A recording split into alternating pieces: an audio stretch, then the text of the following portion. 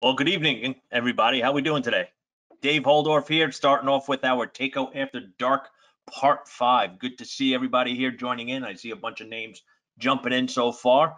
Along with myself, we have Mr. John Barba.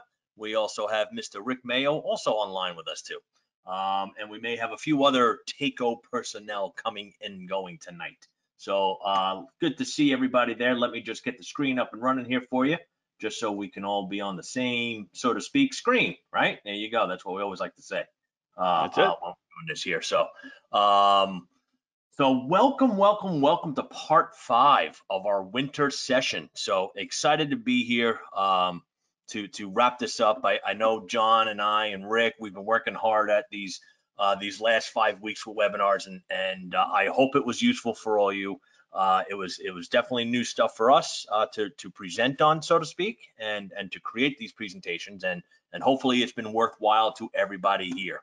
Now I'm not calling it a day, or I'm not calling it a night, and just saying, all right, let's wrap and and and let's get out of here. By no means whatsoever am I talking about that. So, uh, but anyway, so let's get the ball rolling here with winter training part five, and again with our buddy Bruce Campbell in that beautiful red jacket there. You know, the most I- I interesting looked. man in America, I'll tell you what, right there. I, I, I was kind of looking for a red jacket like that today, but uh, I just didn't have enough time to spend in the stores. So it was just one of those when I came home from Connecticut, you know, one stop and yeah, no, keep going. So tonight's topic, low, low temperature heat sources and controls. All right, so uh, this is kind of a part two from the part four uh, of that we did last week. So it was it's going to be a little bit of that continuation, but if you didn't attend last week, that's okay. You can still come and attend this week too. Um, so uh, not a problem with doing that. So with that being said, for those of you that are on social media, please take a look for us. Uh, John and I and the rest of the crew at Taco uh, spend a lot of time and energy on social media, um, and and we and we love to see your stuff too. So if you do throw anything out there, you know, with with Taco on there or whatever it is, even say tonight, Taco after dark, do hashtag Taco after dark, please. Uh, but also go ahead and tag us. Um, so you know, we're we're trying to keep we're going we're going to re-resurrect the uh, Monday Night Live. Yes, even though football is over, that's okay. Monday Night Live is now uh, going to be uh, hopefully starting soon. John and I still have to talk about that. Uh, but usually we do that Monday nights at seven o'clock, and we consider it office hours. Um, so you guys have been out there working hard all week, and and you got some questions. Uh, come on down, and uh, we do that on on Instagram Monday nights Eastern at seven o'clock. Uh, to find us on Instagram, uh, Taco Comfort, Taco underscore Comfort is the is the corporate account. Uh, myself is Taco Training, no spaces, no dashes, and then John is J Barba underscore Taco Trainer. Take a look and, and tag us, please do, um, and, and get us uh, get us involved if need be, and and if you want us. Uh, and of course, we're everywhere else, uh, as well as LinkedIn, Facebook, YouTube, uh, uh, from the corporate side of things, and also uh, personally too. So we're all over the place out there too. So come find us. I'll be looking forward to seeing you out there. Now, if this is your first time hanging out with us, it may or may not be, but maybe first time on uh, on on GoToWebinar. All right, things may look a little different to you, and if just so you can navigate through, uh, what I want you to look for first is that orange arrow, and if it's pointing to the right, you're good to go. But if it's pointing to the left, click on the arrow, and your uh, your your uh, uh, control panel will expand so you can see more information, as in to make sure that you can hear us um, if there are any handouts, and more importantly, probably the most important part here is how to communicate with us. You guys are all muted out there. Um, so if you want to communicate, you want to ask questions, you want to answer questions, and we highly, highly encourage answering questions and asking questions, uh, is to do that there. So for those of you that are there, uh, that are online, and one that you can see, two, you can hear, three, let us know it. All right. And also while you're telling us what's going on out there, uh, also let us know where you're from too. We also like to see where everybody is from across the country, uh, actually from across North America and or uh, globally as that time too. So so please let us know where you're on. So set that all up. Thank you, Robert. I see that. And Wayne and Dwayne Jefferson. Excellent. Mr. Medeiros. Awesome. We got a Las Vegas checking in. Excellent. St. Louis, Toronto, Vancouver, Gotta love it. Gotta love it. Checking in from all over. Love it. South, South Dakota, Chicago. Excellent. Terrific. All right. And of course, the other thing that we like to do too is, you know, treat this like any other training class that you do. So if you were sitting there live in front of us, uh, get yourself a pad and paper, uh, uh, uh, a pad and pen, uh, write some stuff down. And since it is takeaway after dark, get yourself your favorite drink if you haven't got one so far. I'm sure you have already. Um, Arnie Palmer right here. Excellent. um, and if you are watching, GoToWebinar on a device, whether it's an iPad, a tablet, uh, or something else right now, or iPhone, things will look a little bit different. So you'll see uh, at the at the bottom left of your screen, it'll say screen, and it'll you'll have to toggle back and forth between, say, the cameras from looking at our lovely faces uh, and the presentation itself. There's your audio section, and then there's your question. So it will toggle between the three of them, so you can't see all of them at the same time. So uh, with that being said, it's sunny, 24 degrees in Fairbanks, Alaska. Dude, down here on Long Island today, I think it reached about 63. Crazy, crazy. And then it's just going to go downhill over the weekend too. So Mm. Colorado's getting snow. Nice. Fairbanks. Yep. All right. So the theme of the night. We always love to talk about the theme. We have some fun here tonight and and get that going. And uh, we decided to pull that classic show out from the '90s, Seinfeld. All right. And gee, I wonder, can anybody guess who's who? I'm the short bald guy, so I gotta be. me. I'll take So, that. yeah, we got John as the ringleader here, and uh, yeah, I'm gonna take the role of Kramer tonight, uh, and and then Rick, yes, you'll you'll be Costanza. So uh, let's have tonight. So yeah, I'm unemployed, bald, and live with my mother. There you go. a Festivus miracle. That's right. We're all working at Kramerica this week, by the way. Mm. So yes. all right. So let's get to work on nothing. All right, we're done. Everybody have a great one. So we'll see you in the spring for Takeaway After Dark in the factory series. I'm kidding. Uh, so let's get talking about our low temperature. Uh, oh, I forgot to change that JB. Like I said, um, we both forgot it. So, Mm. anyways, our low, low temperature heat sources and controls. Lolo. Lolo. So the first thing we're going to talk about um, is is controlling that lower water temperature. And you know, up you know, last week we spent a lot of time designing that system for lower temperatures, looking at our heat emitters and using lower water temperature and getting as low as possible if we can, based upon one the installation or two if we're doing that inst- eh, doing a new install. So let's let's base on what was there. So you know, if we look at piping out a system here, one I like to talk about real quick is, you know, we have a a three temp system here.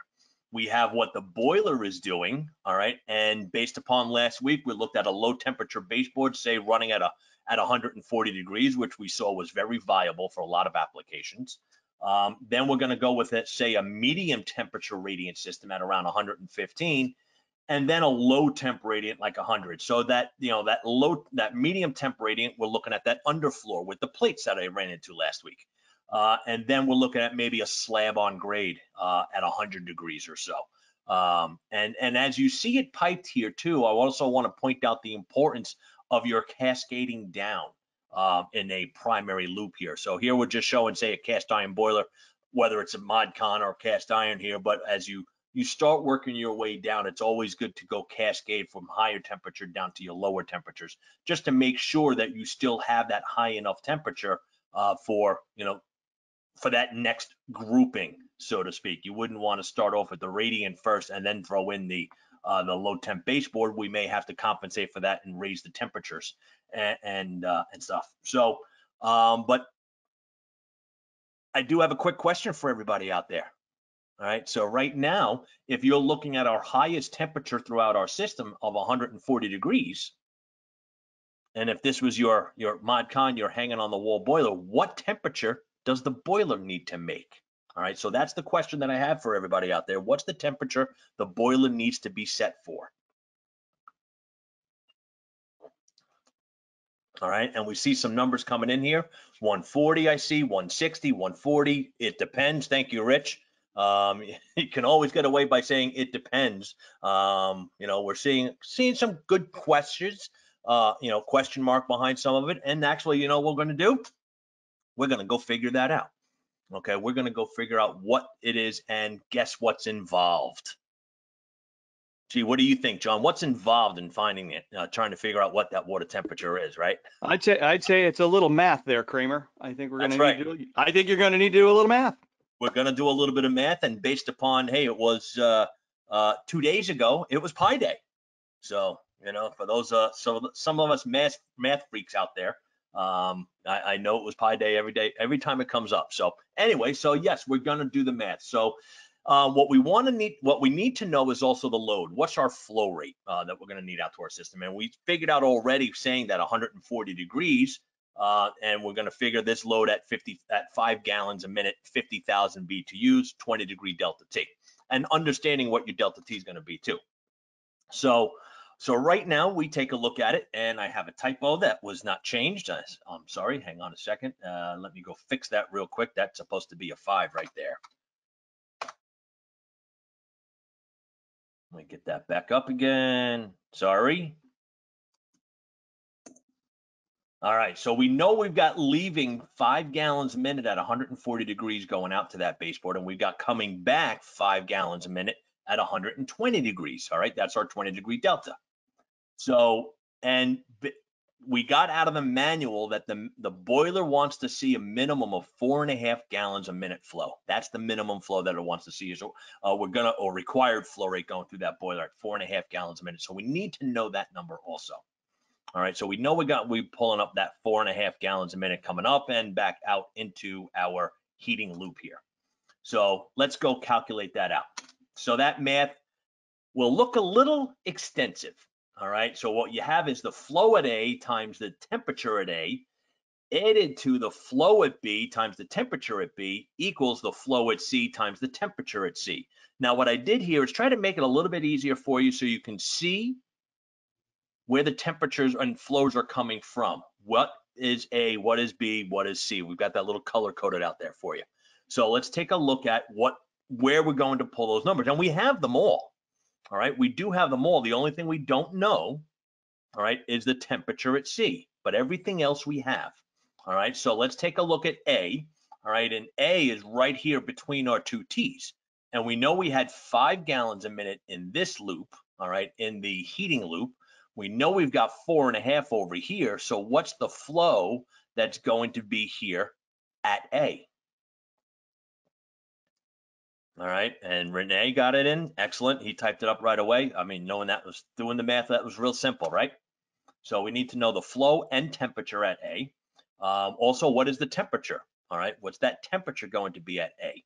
So we got five gallons a minute on this side, five over here, four and a half this way. So yes, we said it was going to be a half a gallon a minute there. All right, we need to know the flow and temperature at B. Okay. I'm sorry, that's what we needed was the B temperature. I'm, I'm getting it all mixed up in my head, right? Um, so, and we know the flow and temperature at C, right? So we know the uh, uh, what we got going on here. So let's let's plug all the numbers in. So yes, we're going to do a little formula here. All right, hang on a second. So let's plug it in. So we're looking at half a gallon a minute times 120. So between the two T's is going to be 120 because that's the leftover temperature and that leftover gallonage that was coming back from here. All right. Um, we know C, I mean, I'm sorry, B through the boiler was four and a half gallons, but X is our temperature. Then five times 140 as our supply going out to our system. All right. So again, half a gallon a minute at 120, four and a half gallons a minute through the boiler, five gallons a minute at 140 degrees that's being fed out to our system. All right, which gets us down to 60 plus four and a half X equals 700. Four and a half X, so we subtract out the 60 from both sides. So this way we get four and a half and we isolate it. So we're gonna bring back some of that algebra that we earned, learned many years ago. All right, so now we, we uh, subtract 60 from both sides. So now we have four and a half X to equals 640 in order to isolate isolate the x, what we're going to do now is divide everything by four and a half. So four and a half divided by four and a half equals one. So that isolates the X by itself. And then we divide 640 by 4.5 and it comes out to a temperature of 142. So that would be the absolute minimum temperature you would set this uh, boiler to operate on on a design day, you know, to get 140 degrees going out to our baseboard. I hope that makes sense for everybody there. So there were a couple of guesses out there that said 145, 150, um, and you would the system would work just fine. All right, but knowing the math here, saying all right, as long as you you know the 140, would it be horrible if you had it set for 140 degrees when you knew you needed 140 going out? Well, that will depend upon your accuracy. That you know how much element that you had out there based upon the BTUs per linear foot. And last week that we were doing, we had a little bit of fluctuation. You know, we, we had to estimate sometimes on the high side um, or just looking at the columns that we pulled from, uh, we knew we had some extra BTUs per linear foot there. So, um, but yeah, we're looking at that, you know, just doing that math, we can determine that's our that's our temperature that we need out there. So, any questions based on that, JB? I didn't, uh, I'm not looking really at them too much. Yeah, I've got one here from uh, from Ralph Sprang.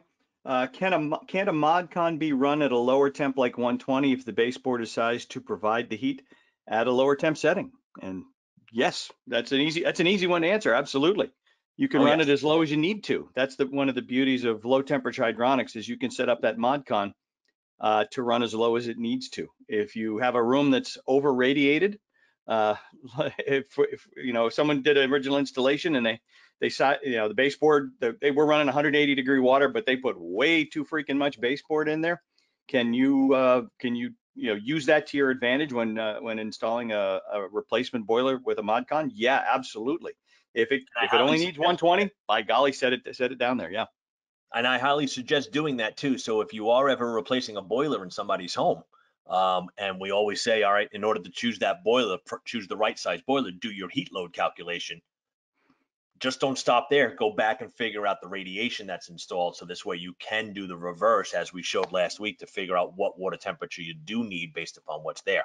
Um, so, and get it as low as possible. Yes, I would say baseboard at 140, you're doing pretty good because on a design day, yeah, we're looking at that boiler starting to condense. All right, it's not going to condense as much as say at 120 degrees, um, but it's still uh, doing some good condensing, as you can see here by sending back 120 degrees, blending back in, or a little bit higher than one. Uh, uh, yeah, uh, sending back that 120 back into the boiler, which is great, which would be awesome. And that boiler's starting to condense. So awesome, excellent. Thanks for that question. Uh, and, and also for those of you that may be new here too, if you are asking any questions, don't save them for the end. Um, ask them as soon as it comes into your mind, whether it's something that you see on the screen, something that you saw three screens ago. And if you're really, really good with questions, something that's coming up on a screen. That That- means Those are, those are the great questions. Yes. those are the great questions that you know exactly what's coming next. So, um, so type them in right away. We will make sure that we get to them. And then at the end of the presentation tonight too, we will stay on long on as long as you want us to going through any topic or conversation, whether it was about tonight uh, or even past episodes or anything in general whatsoever. Uh, we'll stay on as long as you guys want us to if you're still asking questions and still typing stuff in there. Otherwise, John and myself and Rick, we just start talking to ourselves and it starts getting weird. So uh, I highly encourage you to please type in some questions to us. Anyways, with that being said, all right, so now what do we do for the low temperature radiant floor systems? Because we know we have that boiler set at 142, but now we have two temperature radiant out there, one at 104, uh, one at 115 and another at 100 degrees. So what we need to do is lower that water temperature and we're going to look at using mixing valves um, uh, to, to get that temperature down lower. And we've got several different designs to your mixing valves. You've got your fixed temperature, your thermostatic that I'm going to, that I show you here on the right hand side. And then you've got some variable speed. All right. And when we start looking at, I mean, not variable speed, but we're looking at a, a modulating mixing valve, which is now it's motorized and it's going to vary that water temperature based upon an outside temperature. So as the temperature changes outside, it's going to change the supply temperature uh, going out to the radiant floor, doing an outdoor reset. All right, we do also offer them in a set point mode, uh, which I might use in, in say a snow melt system um, and, and some radiant floor applications, but I do prefer using an outdoor reset design and everything is self-contained right in this power head. All right, all you need to do is just send uh, a hundred, uh, a 24 volt power to this and hook up a couple of sensors and everything is self-contained. So you don't need to buy a, a, a mixing valve uh, with a motor on it and then get another control in order to do that. Everything is built in right to this head here. Um, and uh, we're gonna go through that. Uh, and the, the other reasons why to choose one over the other, other is going to be based on performance uh, and also what your flow and what your additional head loss is going to be going through here. So you're looking at um, a, a, thermostatic mixing valve here, uh, which has a very high pressure drop. And then when we get to our modulating valves, we're looking at something that's going to be uh, a much lower pressure drop going through it. So, and you know, fixed, you know, myself personally, when it comes to radiant floors, I prefer to modulate that water temperature. Uh, fixed temperature is great if you always spend the winter when it's really cold out. All right, but even you know, I mean, yeah, today here on Long Island, there's not much of a demand for heat, but there will be later. Um, but I like to modulate that water temperature so this way there's always just a little bit of heat going into those floors rather than just slamming it and dropping back, slamming it and dropping back uh, when we go with our thermostatic uh, style mixing valves. So uh, just so we have a little bit of review. Oh, I just hit something. All right. It's important to consider the uh, the pressure drop through these valves. And we start taking a look at the, the CV values of them. When we look at a thermostatic valve, it has a CV of 2.3, all right, which means if I were to flow 2.3 through a three quarter inch valve, it's going to have one PSI pressure drop or an additional 2.31 foot of head added to our system. So in, in previous takeaway after darks, we've gone over flow and head calculation. So that would be addition to the head loss calculation of the pipe that we've shown you in the past. Now, when we get to the two-way I valve, that has a CV value of 10.3. Now, that's significant when you stop and look at it that this is the three-quarter inch model. All right, now a three-quarter inch, as we know, is, is uh, as we've shown in previous episodes also, that three-quarter inch pipe is looking at four gallons a minute typically as our max size, our, our max flow rates, right?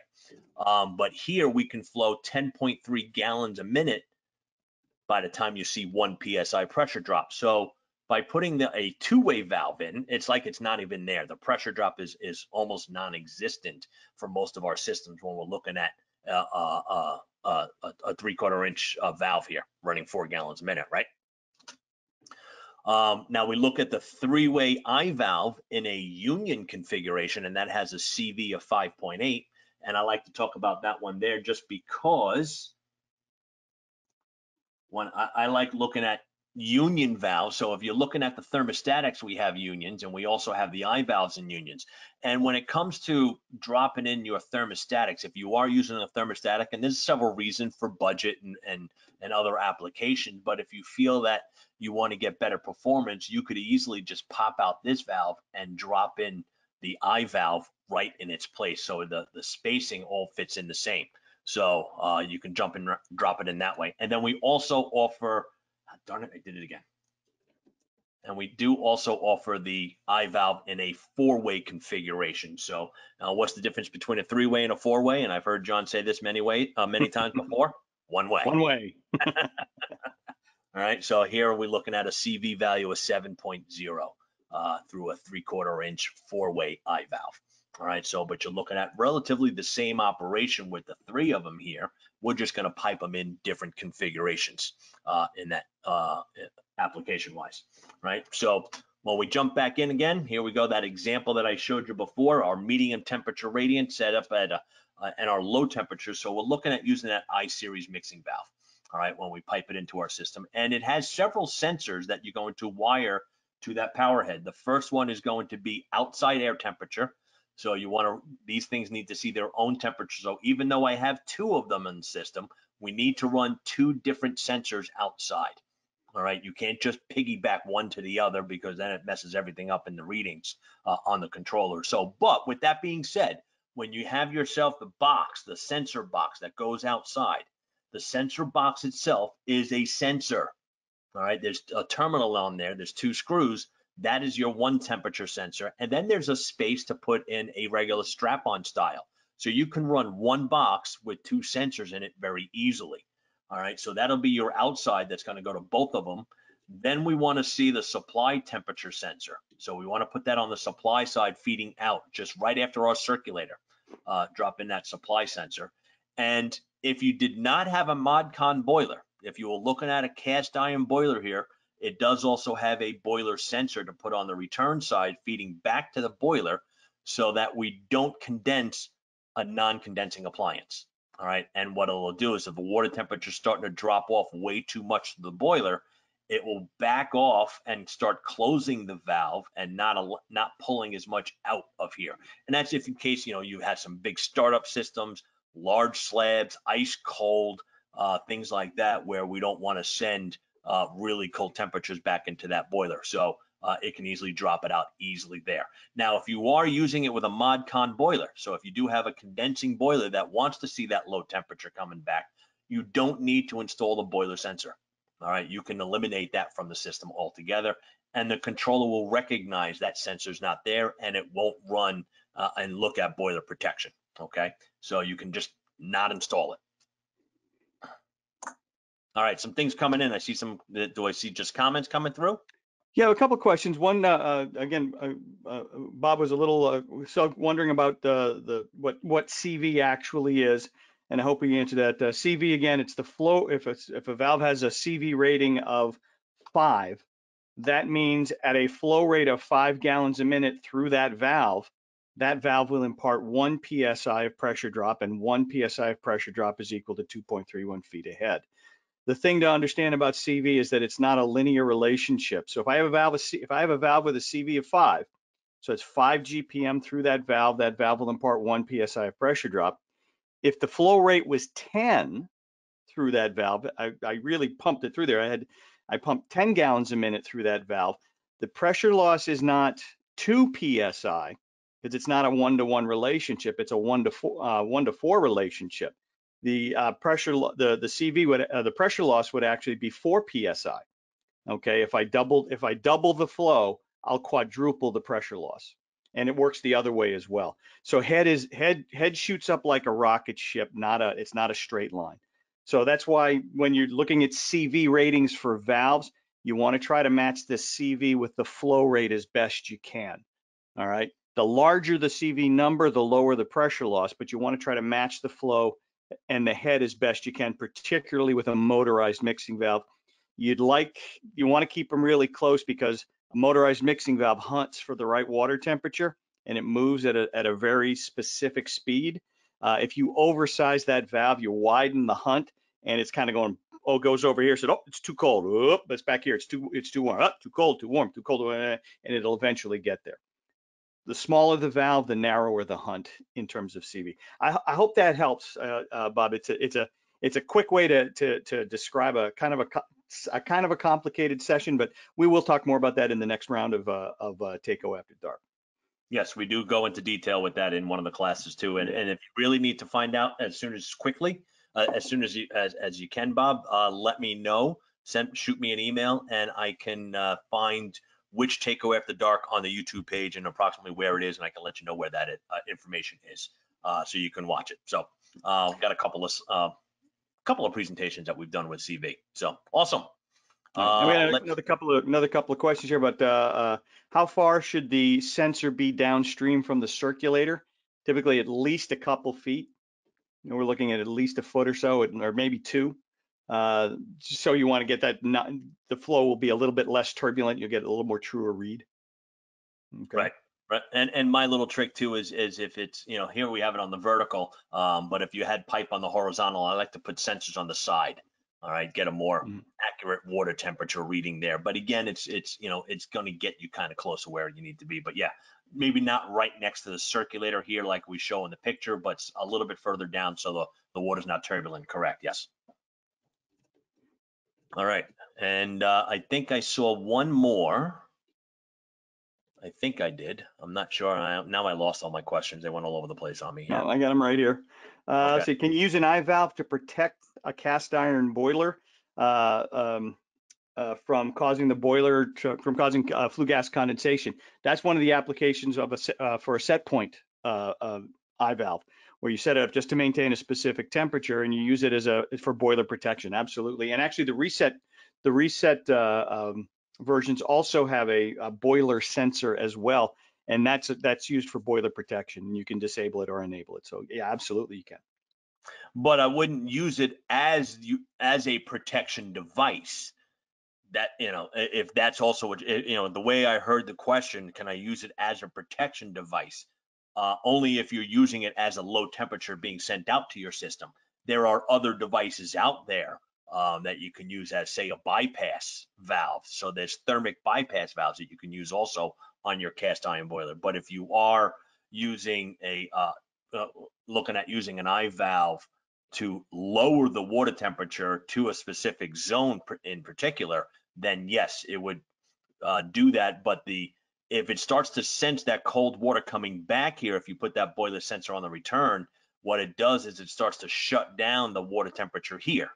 So if the if the calculation is saying, for example, well, I need 110 degrees going out to that zone, um, but I'm too cold coming back to the boiler. Well, now you're not going to get 110 going out there anymore. So if it's always going to be in that situation, then this is not the right device to use. You want to use, say, a thermic bypass valve, um, it, which is also a three-way valve, but it doesn't have a power head on it. It's basically uh, a, a, a thermostat sensor, um, a flow valve that you have in your system. That'll take care of that. So uh, I hope that's, uh, let's see if that was your question.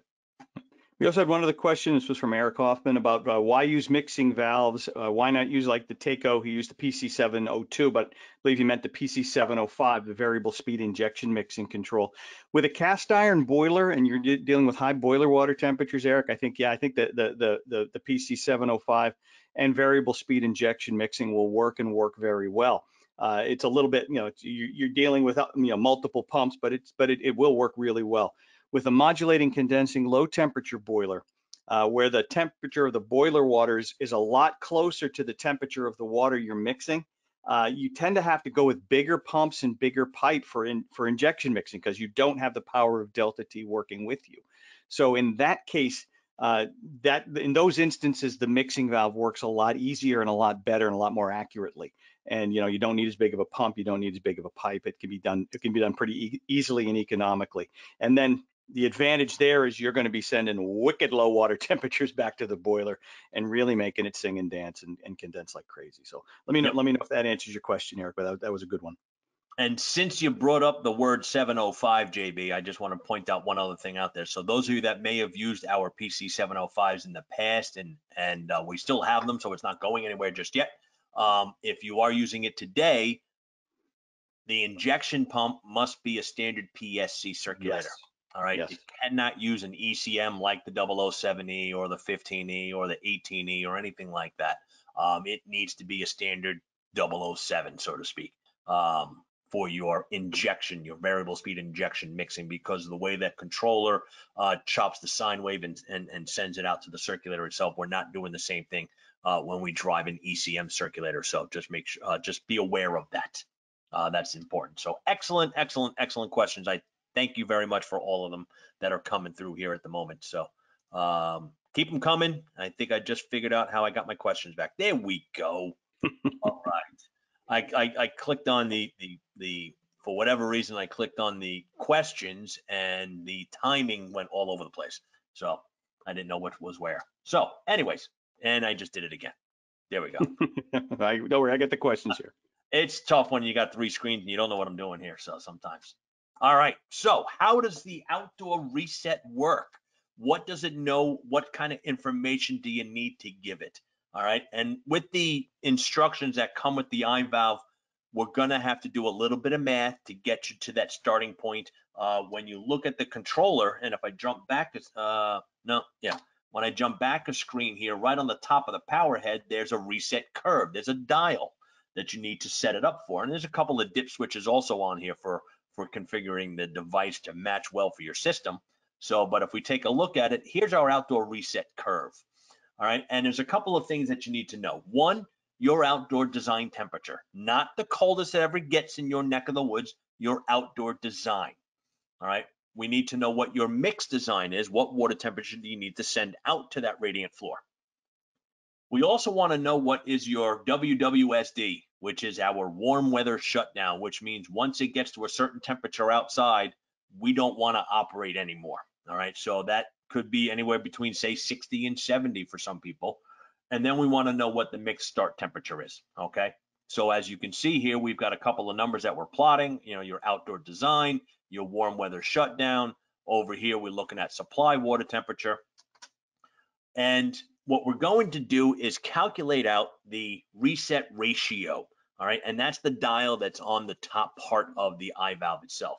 In order to find that reset ratio, we take our mixed design temperature, what water temperature you need to send out to the radiant floor, minus your indoor design temperature. For today, we're using 72.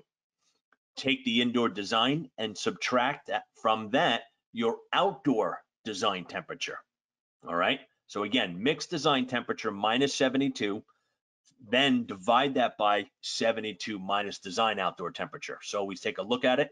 Uh, we're going to say our mixed design was 115, like we said. Our outdoor design is 10 above zero. So 115 minus 72 divided by 72 minus 10 gets us 43 over 62, which then says we have a curve of 0.7. So if we were to take a look at this chart that is also comes along with the instructions, uh, we take a look at our point, our 10 degrees above, uh, the, uh, and our 115 degree water temperature, and it will operate along this line, which is right between our 0.8 and 0.6 of 0.7. So if you wanted to know what temperature it was when the system was up and running, you got to take a look at this chart because the only time you would know exactly if it was working is if you were there when it was 10 degrees outside. And I'm sure when it's 10 degrees, when it's designed in your neck of the woods, you're not just sitting around doing nothing. You're a little bit busy. So uh, if you are there at the job site, say when it's 30 degrees outside, if you take a look at this chart and pull yourself up to here and then come across, you're looking at, hey, you should be getting around 100 degrees going out to that floor. Now you could also do a minimum temperature too. So as that temperature starts to drop off, the control does, the, the, the power head does have say a minimum temperature that you want it to operate to. Right now, this is just showing you the curve of 0.7 all the way down to 72 degrees. All right, so at 72 degrees, it's going to send 72 degree water. That may not be warm enough to send out to your radiant floor. You can also set it up for a minimum temperature to send out there so it doesn't doesn't keep on going all the way down. All right, I hope that makes sense for everybody. Uh, but it's a real simple device. Once you know the, the 0.7 curve, that's it. This piece of math right here. So what does 0.7 mean? What 0.7 means is the water temperature increases 0.7 of a degree for every one degree drop in outdoor temperature. So that's what this reset ratio is. It is a ratio between supply water temperature going to your radiant floor to the outside air temperature. So 0.7 degree, a point, uh, uh, a seven tenth of a degree will be risen as the temperature outside drops a degree. So this way it's going to make sure that we send just enough heat going out to the house.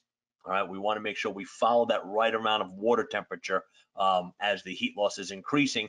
And by doing that, you get a very, very consistent temperature in the house. So your temperature, uh, air temperature doesn't fluctuate as much because if we left it at 110 degrees and it was 45 outside, well, then the air temperature can flywheel a little bit. It gets a little bit above 70 degrees, it shoots up to 72, and then it can drop down to 68, and it, it fluctuates back and forth because you have that radiant floor mass that's heating up. So now if it starts to, you, what we're really trying to do is trying to deliver the same amount of heat that is lost, we're trying to put right back in again, just about BTU for BTU uh, in that system. So hope that makes sense for everybody out there. Hopefully that has cleared up a few things. I think it did. I see uh, see Nate said that was good. Uh, he, he learned that part there. Awesome. Any other questions, JB? Uh, just a couple of this things to clear up. One uh, one guy asked about the 007 being how long it's going to be available. At least 2026. that's about all we're prepared to talk about on that uh, at this point. Um, one, if the temperature drops below 10 degrees Fahrenheit, uh, in this example that you just gave, what happens to the water temperature? It just keeps going up the curve. As long as the water temperature is available on the other side, on the boiler side, it'll just keep riding up the curve. That's correct. And you do have a maximum temperature to limit it too. So in case you didn't want 180 degrees going out to your floor, now in our curve here, we wouldn't see it. We we if we would go all the way up and we get down to that minus, I guess 20 degrees outside, looks like we would send out about 140 degrees out to your floor, which is okay. All right, which is going to be. So yes, it's not going to stop at 110. It will continue if it does occasionally get colder than that 10 degree outside temperature? Excellent question. Thank you very much for that one. All righty. All right, we're getting antsy. Yes, and a couple of other, you know, so like I said before, you have min max supply temperature. So that's the dip switches that you have on the side. And in the instructions, it'll tell you where to put them, whether it's on or off, and they're all to be defaulted in one position. So make sure you flick it, that switch to match your system that you need it to do. All right, so you've got uh, uh, with the dip switch between 120 or 135 for that return temperature. And like I said, disable it by not installing the sensor whatsoever. Uh, and your warm weather shutdown, we can also turn on and off uh, on the side of that controller. So right there on the power head, it's all built in, nice, simple, sweet control. I love this thing. Love, love, love. I, I, anytime you're doing radiant floor heating, um, and you have to temper it down from what the boiler's doing, you got to put one of these things in. And again, John was talking about it before that it works great with mod con boilers. It does work great with cast iron also. It does work with a high temperature system also. So don't even don't worry about that. So all right. Guess what time it is? Is it time for trivia? It is trivia time, and, and we ran a little bit of overtime, but that's okay. I think uh, I think everybody's uh, all right with us running a little bit of extra tonight. Uh, took a little bit of extra time in the beginning. Um, but our Taco after dark trivia time is here. So, um, so the question for tonight, Jerry Seinfeld always had lucky shirts throughout the show, uh, but accidentally agreed to wear uh, a certain one for Kramer's girlfriend. And if those of you that remember the episode, she was the low talker, so he had no idea what he was agreeing to, uh, uh and he had to wear this uh, the puffy shirt for a TV interview. However, Bryant Gumbel was just making fun of him the entire time for wearing such a shirt. Of course, since he was talking about homelessness and and all this other stuff uh, going on uh, with with clothing. Uh, so the trivia question of the night is, what's the TV show that Jerry was being interviewed on? So and for that, uh, we have uh, our question uh, tonight. Our answer, you know, we'll get, we've got our tri- uh, prize package tonight, which is again going to be a Bluetooth speaker, which I saw that Eric Hoffman got his hands on one. Uh, he, he's one of our winners and, and loved it on the job site. Uh, by the way, it's not just a Bluetooth speaker; it's also um, a microphone that's built into there too. So if you happen to be using it on your phone, you can go and answer your phone calls while you're in the boiler room. And I've got the the famous Taco after dark T-shirts and I've got some travel mugs. I've got the mini screwdrivers that everybody loves uh, and, and, stuff like that. So, John, I will record the answers um, because now we're going to be passing this along to John for the second section. All right. So, uh, oh, the humanity. and I got to tell you, just that some of the guys are saying, I don't know, or I don't know, or I don't want to cheat. All I have to say is life is an open book test, folks. Life is an open book test. It's okay. It's not cheating. Life is an open book test, and I'm going to leave it at that. Now. Yep. With that being said, I mean, when I was in school, uh, one of the things I, re- I remember going to a final one day, and I was going with my future sister-in-law who was studying to be a teacher. And on our way to finals that day, we were both going to the same community college um, I'm carrying all my books. And she's got absolutely nothing with her except for a, a couple of pens. And she's like, wait a minute, I thought your test was the same time as mine. I'm like, it is. And she's like, well, what are you doing with all your books? Are you studying? I'm like, no, it's an open book test. I was taking some engineering classes. She's like, what do you mean? You get to use your books for class for your final exam? I'm like, yeah. You know, uh, when it comes to engineering classes, it's not all about memorizing the work. It's knowing where to find it. Right. right? So that, that I, I I've never forgotten that. You know, I Much learned like that from life. one of my professors many years ago. Yeah. Much like life. All right, I'm ready, baby. All right. So, everybody, it's JB's turn. All right, so I'm going to turn this over to JB. So hello, la la la. Okay, can everybody see my screen? I can, sir. All right, this is um, this is uh, going to be kind of exciting. This is going to be kind of exciting. We're going to talk about a new product for Taco, something that uh, you know you'll be it'll, it'll make its debut. You'll be able to buy it and, and use it um, this summer, not before June. Uh, but it's a new endeavor for us uh, in that we're getting into the, the to the world of heat generation. Our core competency going back over 100 years has been in in water distribution. All right moving water, tempering water, mixing water, that that those sorts of things, going back for both plumbing and and for heating in our history. This is this marks the first time we're actually getting into heat generation, and what you're looking at is System M. It is an air to water heat pump system.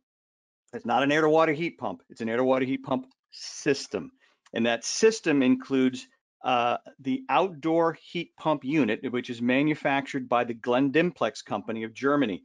They are a 40-year manufacturer of ultra high quality, uh, really innovative heat pumps and controls. So they're manufacturing the outdoor unit and supplying us with the, the uh, system-wide control strategy and control package. Um, is uh, utilizing its expertise in water temperature control, water movement control, et cetera. And we are building the packaged indoor unit, which includes your all of your piping, your circu your circulators. It includes a buffer tank with a, uh, an electric immersion heater built in.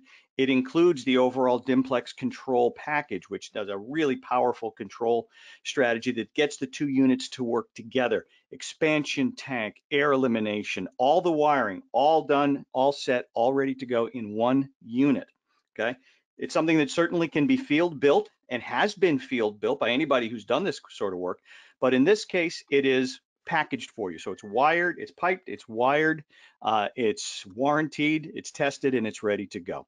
So it's it's it's something very unique for this marketplace. We didn't want to do a Me Too product. We wanted to do something that was unique and uh, basically no other product like it in in in the market with its within its capabilities. So th- again, this is kind of a new product for us, and we'll be able to answer some of your questions. Some of the questions that you're to you you'll probably ask, we may not be able to answer, but we'll do our very best to find out those answers for you. But let's take a look at what this thing is. It is a complete solution. It's a highly efficient air to water heat pump uh, that will provide heating, cooling, and domestic hot water creation in one package system. Now, a lot of folks will say, hey, that outdoor, that indoor unit, isn't that something I could just build, you know, build on site by myself? Absolutely. It is absolutely something that can be built. However, think about it this way.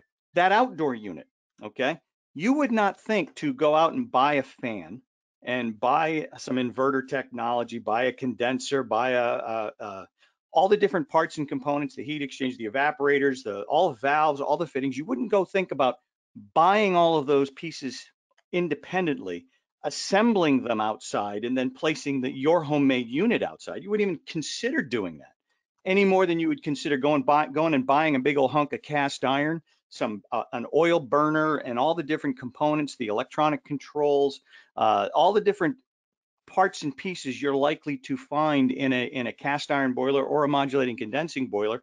Buy those parts and pieces separately, build it yourself, and then install it. No, you're going to buy a finished unit.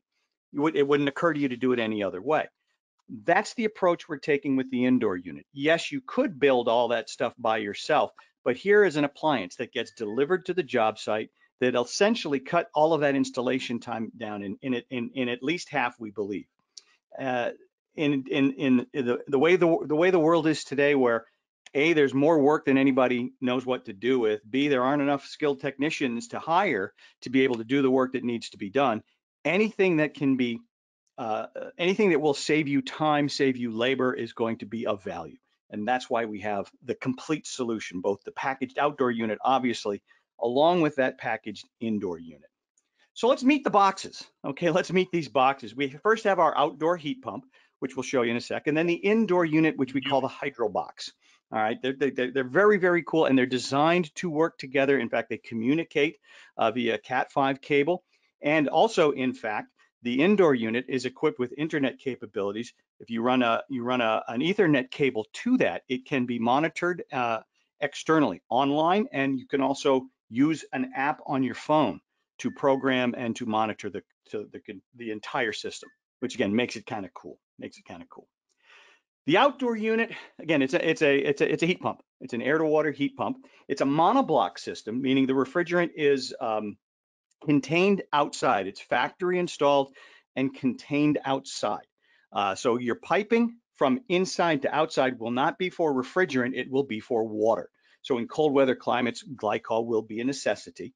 All right, but but you will not be running refrigerant into the house. So that's a that's a, a in some cases that people some people consider that to be a huge advantage. Other people say, hey, I run refrigerant in the house all the time. It's glycol I'm not sure about. Well, we'll, we'll teach you how to do the glycol part. All right. Uh, take a look at the outdoor unit. Uh, we have the the heat exchanger. Number one is the big the the the, the air to refrigeration heat exchanger.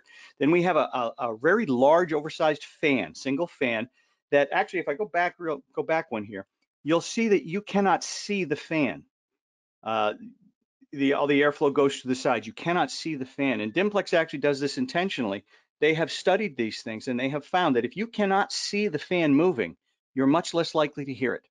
It's a very quiet, whisper quiet system, but just psychologically, if you don't see it, you won't hear it. So it's it's kind of a kind of a neat thing. I've stood right next to the thing, and you really have to stick your hand onto the sides to actually be sure that it is in fact working. So it's very, very, very quiet. Uh, number three item there is a switch box for all your wiring and your for your controls. We have an inverter-driven compressor as well. Uh, we have a heat exchanger for water to refrigeration as well. And then number six, which we didn't call it out, but it's right here these are your water connections. These are the piping connections to go into the house uh, and connect to the indoor unit. And again, that will be water.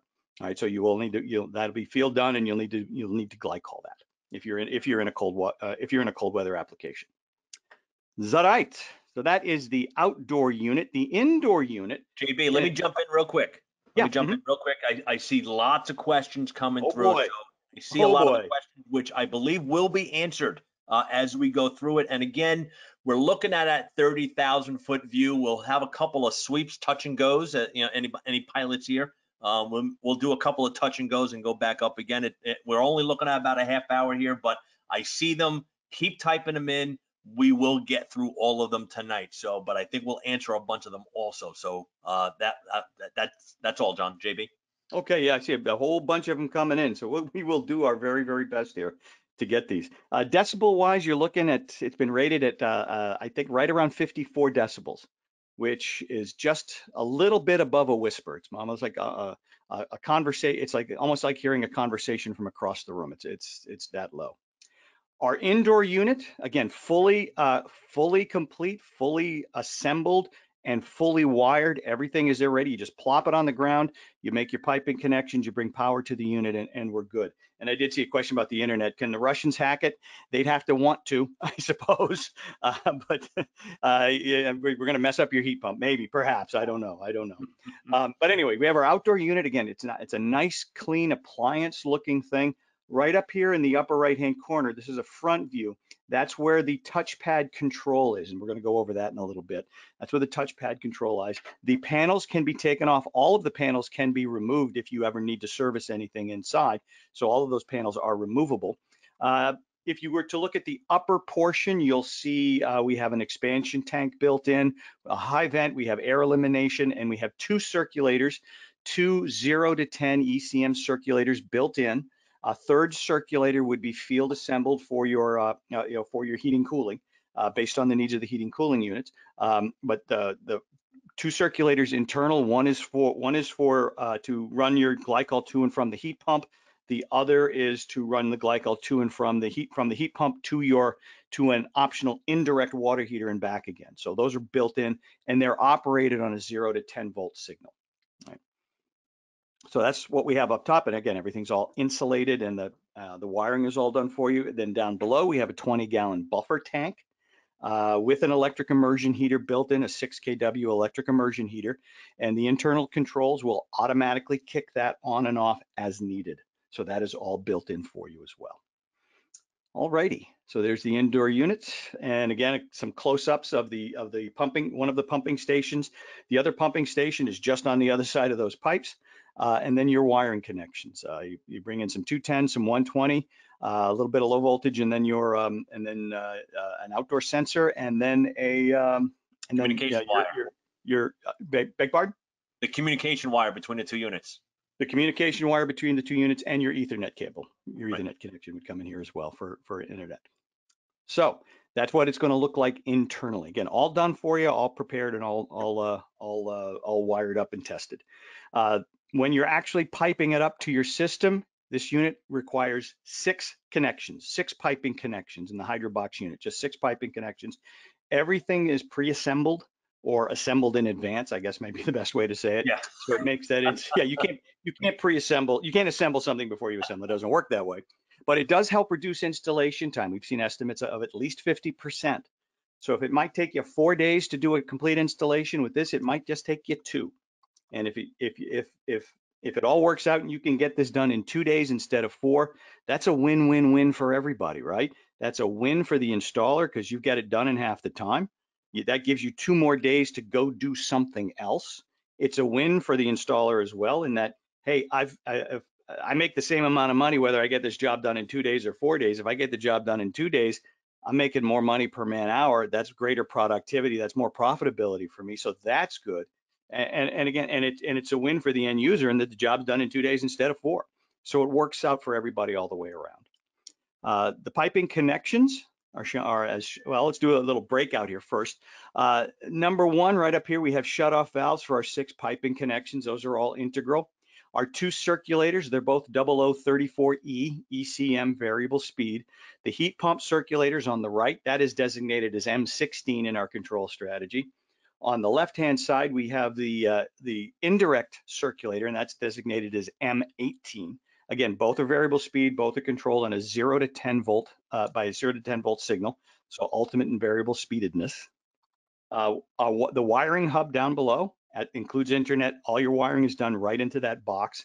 Uh, we have a number 30 expansion tank built in as well as an air separator, 4900 enhanced air separator, built-in relief valve, all of that stuff, the high vent, et cetera. It's all built in for you. The 20 gallon immersion heater, of course, uh, buffer tank with the immersion heater is right there. And then down at the bottom, a built-in drain pan, a drip pan with a drain.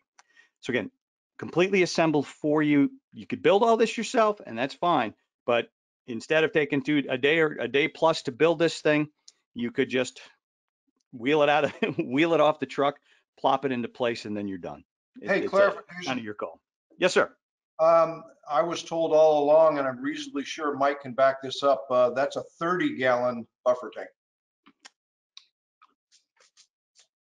Okay, Mike, uh, Mike Miller from Taco Canada is with us. 20 gallon or 30 gallon? How about between the two somewhere? Having to Well- unmute this 30 gallon. Thank you. It's, it's a 30 gallon tank. Thank, 30 all right, gallon, thank you, okay. Rick. So that is a 30 gallon tank, not a 20 gallon tank. We'll have to fix that. Very Uh, good. uh, as Alan points out, it's a 20 gallon Canadian tank. Yeah, in the US, it's a 20 gallon. You move it over the quarter, over the border, it becomes a 30 gallon tank. There you go. Thank you, Alan. That was great. All right. Okay, our six piping connections up top, the, the two on the right-hand side go to the heat pump, supply and return. Then the two in the middle are for your heating and cooling. And then the two on the left are for your domestic hot water in and out. So again, simplified piping. So pipe up your outdoor unit, pipe up uh, your, your indoor heating connections, and then pipe up your indirect and, and you're off to the races, okay? It's enough to make uh, Kramer and George very, very happy, as far as I'm concerned. And again, here's a here's a little piping arrangement for you. If we were to just go to an air handler, okay, to a hot water coil and some duct work, where you know instead of a you know taking out a furnace and putting in a, a, a an air to water heat pump, this would and it with an indirect, this would be your piping arrangement right here. Okay, so the on the, the right hand side, these go to the outdoor unit. The two in the middle, that's for your heating slash cooling. The two on the left are for your indirect.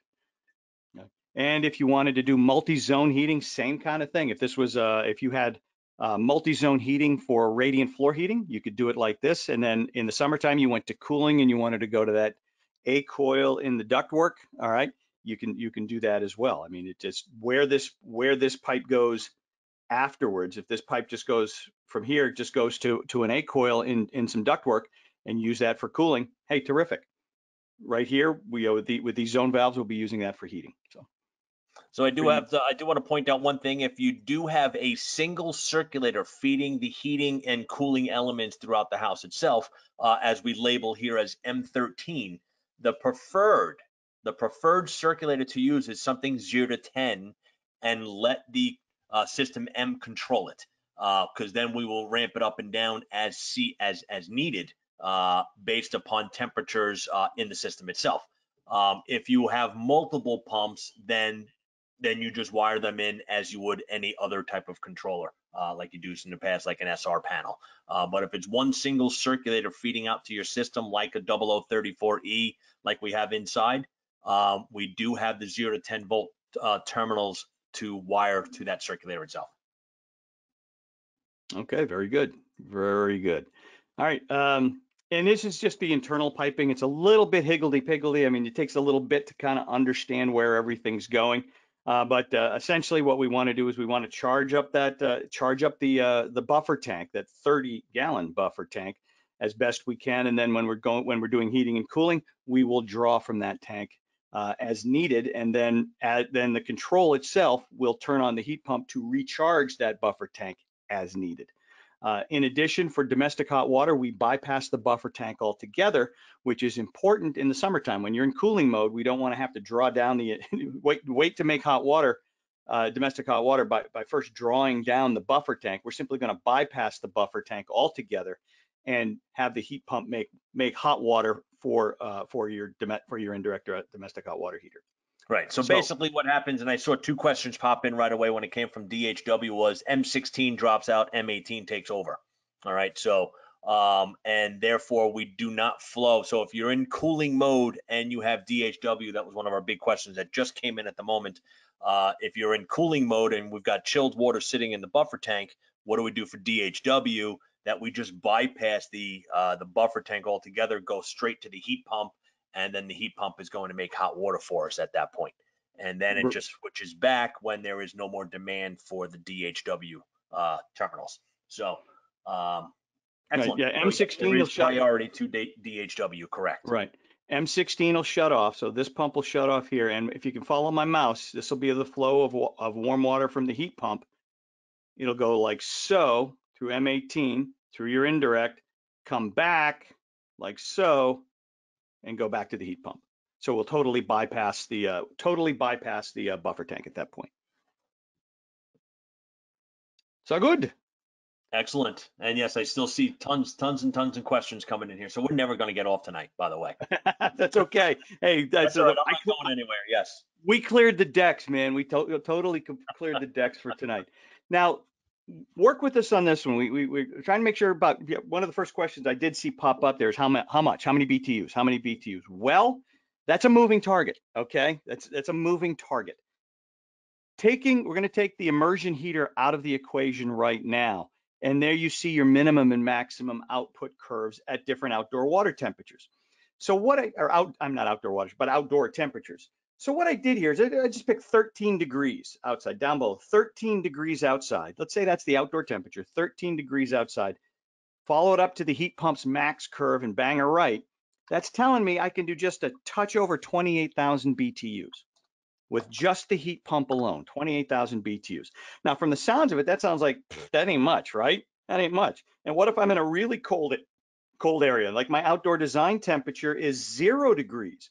If my outdoor design temperature was zero, I'd be intersecting, let's see, right about here. And if I bang over to left, now I'm looking at about 20,000 BTUs. Well, I can't heat anything with 20,000 BTUs, right? Uh, we're looking at high performance houses here, number one, but that's not the only way heat pumps work. Okay. This is why we have the electric immersion heater in that buffer tank to make sure we can work at low outdoor temperatures. As if you look at this, the heat pump is still capable of extracting heat from the air uh, at outdoor temperatures of around eight below. Okay, it's still capable of extracting BTUs and and and transferring those BTUs to the water in order to heat your house down to uh, eight below zero Fahrenheit. All right.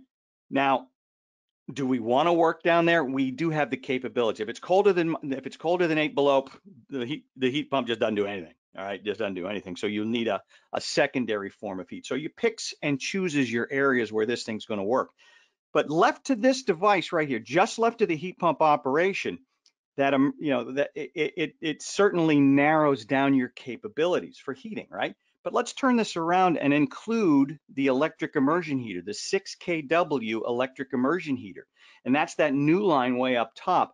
And what that does is it allow, it basically adds 6 kW or about, what is it, about 24,000 BTUs, more or less? 20,500, 20,000. 20,000 20,500 BTUs to the capabilities of this unit. Now, what does that mean? Well, let's take a look at a possible job here. Let's say I've got a job where my outdoor design temperature is five degrees above zero. So I'm putting this in a cold weather area. My outdoor design temperature is five degrees above zero. Now, according to this, to, to, the, to the chart, including the electric immersion heater at five degrees above zero, I now have the ability to deliver up to, in fact, just a wee bit more than 44,000 BTUs. So now that expands my my my my potential market, my potential applications for this for this unit. Now we're talking about uh, we're talking about efficient homes. We're talking about well-built homes. We're talking about homes that have been that have on, on undergone weatherization upgrades, things like that. The you know the the the, the better yeah. the built home, the the bigger the home that we can do. Right, uh, the 1920s row home in Brooklyn that hasn't been touched in since 1921. Yeah, might not be a good candidate for a heat pump, right? Might not be a good candidate for a heat pump. But I was talking to Rich McGrath earlier today, and he told me about a, a 5,500 square foot home in Oyster Bay, Long Island, that had been weatherized and upgraded to the point where the heat load of that 5,500 square foot home was 37,000 BTUs. 37,000 BTUs. That, that worked out to less than seven BTUs a square foot. So it's not so much the square foot, it's not so much how cold it gets outside. It's kind of the combination of how cold it is outside plus what is the actual heat loss of the house. Before you put before you go installing a heat pump, I would say an accurate, aggressive heat loss, not a conservative one, not one says, well, I just want to cover my hindquarters. I'm talking about a, a real world heat loss with a blower door test and all the good stuff, doing it right and pushing that envelope as much as you can is going to be, uh, um, it's going to be a requirement, I think, for you to, to for you to have success with the product like this, because you got to know, you can't guess when you, you're dealing with outputs like this, you can't guess. You have to know what the load is and you have to apply it properly. And that's how you're going to have success. Now, how much how uh, uh, how much of this this uh, electric immersion heater am I actually going to use? Well, let's again say say the house the the BTU load of that house was in fact 44,000 BTUs. So this is my heat load. It's it's dead on accurate 44,000 BTUs and it's 5 degrees outside. This green line represents the heat load, you know, characteristic. As it gets warmer out, the heat load goes down and that's a linear relationship, right? So as the heat load goes down, the as, as the heat load goes down, the heat load will go down as the weather outside gets warmer. As the weather outside gets warmer, I'm going to be getting more BTUs out of my heat pump and I'll be needing less BTUs out of my electric resistance heat. So if you take a look at this triangle right here, that's the amount of time I will be using my electric resistance heat. And at the very beginning, which it looks to be about 20 degrees, once I hit 20 degrees, I'll need very, very little electric resistance heat. As it continues to get colder, I'll need a little bit more, okay? So when I hit my outdoor design temperature of five degrees, I'm getting 24,000 BTUs out of the heat pump. I'll be getting another 20,000 out of my electric resistance heat, all right? So little bit, little bit less than half and half. So we're getting a little bit more out of the heat pump, and a little bit more than half out of the heat pump, a little bit less than half out of my electric resistance heat, but only when it's really, really cold. Once I hit about 20, 20 degrees, I won't be using the resistance at all. So that's one example. That's one example. Let's take a look at another example. Let's say it was really cold outside. It's a, I'm putting it in to a, I'm putting it into a, uh, a structure where the heat, the outdoor design temperature is in fact five below zero. Well, I can't use a heat pump when it's five below zero, can I? Well, sure you can. Sure you can. It's just that we now can't go to a 44,000 BTU load. Our actual our actual load is going to be about 39,500. That's going to be over here. That's my maximum. That's the maximum load that I can deliver with this with this unit. Now, again, does that mean it's a, it's a tiny little structure? It depends on the structure, right? It depends on what the heat load of the structure really is. And then I draw that line again, and now you can see my triangle is a little bit bigger, but the electric resistance heat doesn't come on until it's about 12 degrees outside. Then it comes on, it comes on at 12 degrees, and I'll use that in increasing amounts until I hit my outdoor design temperature of minus five. Okay. So how aggressive can you get with your heat load? How aggressive are do how aggressive do you feel with that heat load? How how weatherized is that house? Have they sealed up the uh, done done the the the you know re-insulated the attic and sealed it up as best they can? You know with good good quality windows, weather stripping, etc. Weatherize that house as best we can. Made the ductwork as efficient and as proper as possible. What are all of the things that we can do to button this sucker up so we can make it work. And you'd be surprised how far you can go. Now we've gone with cold weather areas. Let's say we're in Seattle. Okay, Seattle, the outdoor design temperature is 23 degrees or 20, uh, I'm sorry, 23, 24 degrees outside. Now we're looking at some at the potential of up to 51,000 BTUs. So again, we have the ability to go to a larger structure if we're designing to the max. And again, our curve tells us we have it, we still have this triangle of using electric resistance heat. Now just imagine, what would a house look like, a 52,000 BTU house look like in Seattle, where the outdoor design temperature is 24 degrees? My guess is it's gonna be a pretty good sized shack, all right? And they have the ability to use that. Um, let me know if all this makes sense to you. Are there any questions on this, Dave? Now may be a good time for us to try to tackle some of them. But what, what There's There's a lot of them out there. oh, oh, good. Oh, good. but nothing about exactly what you got here. But uh, you know, we've got a couple of questions like what's the COP, and that's coming up real soon, and Mhm. uh, and- stuff like that. So, and, and we had a question from somebody. Well, where I am, or projects that I'm working on, it's minus 35 F outside. You Yeah, can- no, don't use this. Element be upsized. You know, uh, we- we we have the we have the fixed element that's there. Uh, but if you need more, then yes, and then maybe you are looking at what we call a bivalent situation Mhm. where you need a secondary heat source in order to accommodate that. So it might be kind of like what you consider like a preheater. You know, you got something that's going to heat the water up before it feeds into the buffer tank itself or or whatever. There's there's ways that we can do that that can be done. Um, and uh, and uh, I, I know there was another question that was related to that for a second, and I, I completely lost it that I wanted to answer. Um, Yeah, those are the kinds of applications where, you know, it, it, this heat pump might not be the right one for that application. You, you, it'll, it'll, it'll handle what it can handle, but it can't do more than that. All right. It, it's what it can do the max, but it can't do more than the max. It's just, that's just the way it is. So, um, you'll, you'll, you'll, whether you do a, a secondary backup type of heat, I know in, uh, my house in Minnesota, we had a, we had an outdoor, we had a, a- an air to air heat pump and, um, when it got to below a certain temperature, it couldn't work and it made clack, clacky noises. It made all kinds of noise. So we had to go back to our to our hydro air package with it with the boiler, etc. So those are those are things that uh, that that you know that you have to do that you have to to, to make it work. So anyway, COP again, it depends. COP is a is a uh, is a moving target. Okay, it depends on it depends on on outdoor temperature. It depends on what kind of water temperature you're trying to make. Okay, and what are the ratings of the unit? All of these unit. Uh, one of the things we've learned about the heat pump market is there's no standards on rating COP. You know, you can certainly come up with a COP that makes your unit look like it walks on water. Okay, but in reality, it doesn't match up to someone else's COP. So you always got to. Uh, one of the things we always tell people is whatever information you get from any manufacturer of any product, whether it's us or anybody else, whether it's on a circulator, whether it's on a control, whether it's on a heat pump, be a critical consumer of that information. Ask questions. All right. If something sounds really cool, ask another question. Okay.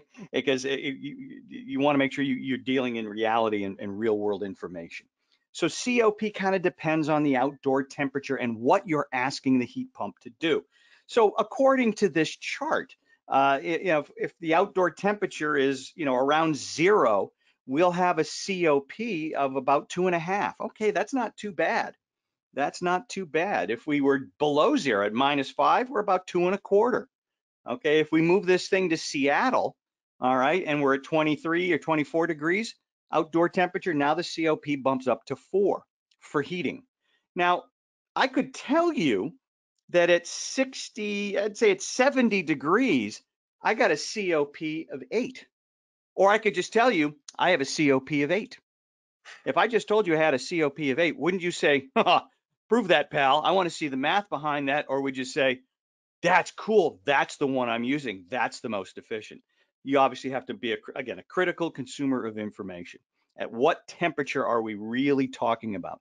And in, in terms of, a, of, a, of an air to water heat pump, we're looking at what water temperature can we create uh, and and then do we have to we have to design around that water temperature to get the max COP. So again, it varies. 47 degrees Fahrenheit outside. One one uh, air we, we we've given you uh, COPs and outputs at different water temperatures at different outdoor temperatures. So in this case, 105 degree water, we're looking at about 30,000 BTUs, a little less than 30,000 BTUs with a COP of 4.38. If instead we were making 120 degree water, all right, COP of three and a half, and 140 degree water, COP of 2.6. So again, what water temperature are we making at different outdoor air temperatures? If we went down to 17 degrees, you can see the output goes down because again, it's warm. I'm, I'm dealing with colder air. I'm trying to extract heat from colder air. And you can see the COPs go down as well, 2.76, 2.33 down to 1.85 if I'm trying to make 140 degree water. One thing this should tell you is that everything we talked about last week, designing your system to get that water temperature as low as possible is going to have tremendous benefits in terms of how efficiently and how effectively uh, the heat pump can run. None of this is to say you should you should be okay. You can do 140 degree water out of this heat pump, but you're using an awful as it gets colder, you're going to use an awful lot of electricity and your efficiency goes down. If it is possible for you to design to 120, 110, 105, you're going to be rewarded with greater and greater efficiency. Right. So and and as Bob just mentioned too, you know, those COPs that we're looking at there are still higher than fossil fuels. Oh yeah, yeah. Well, yeah, right, exactly. Fossil fuels are fractional.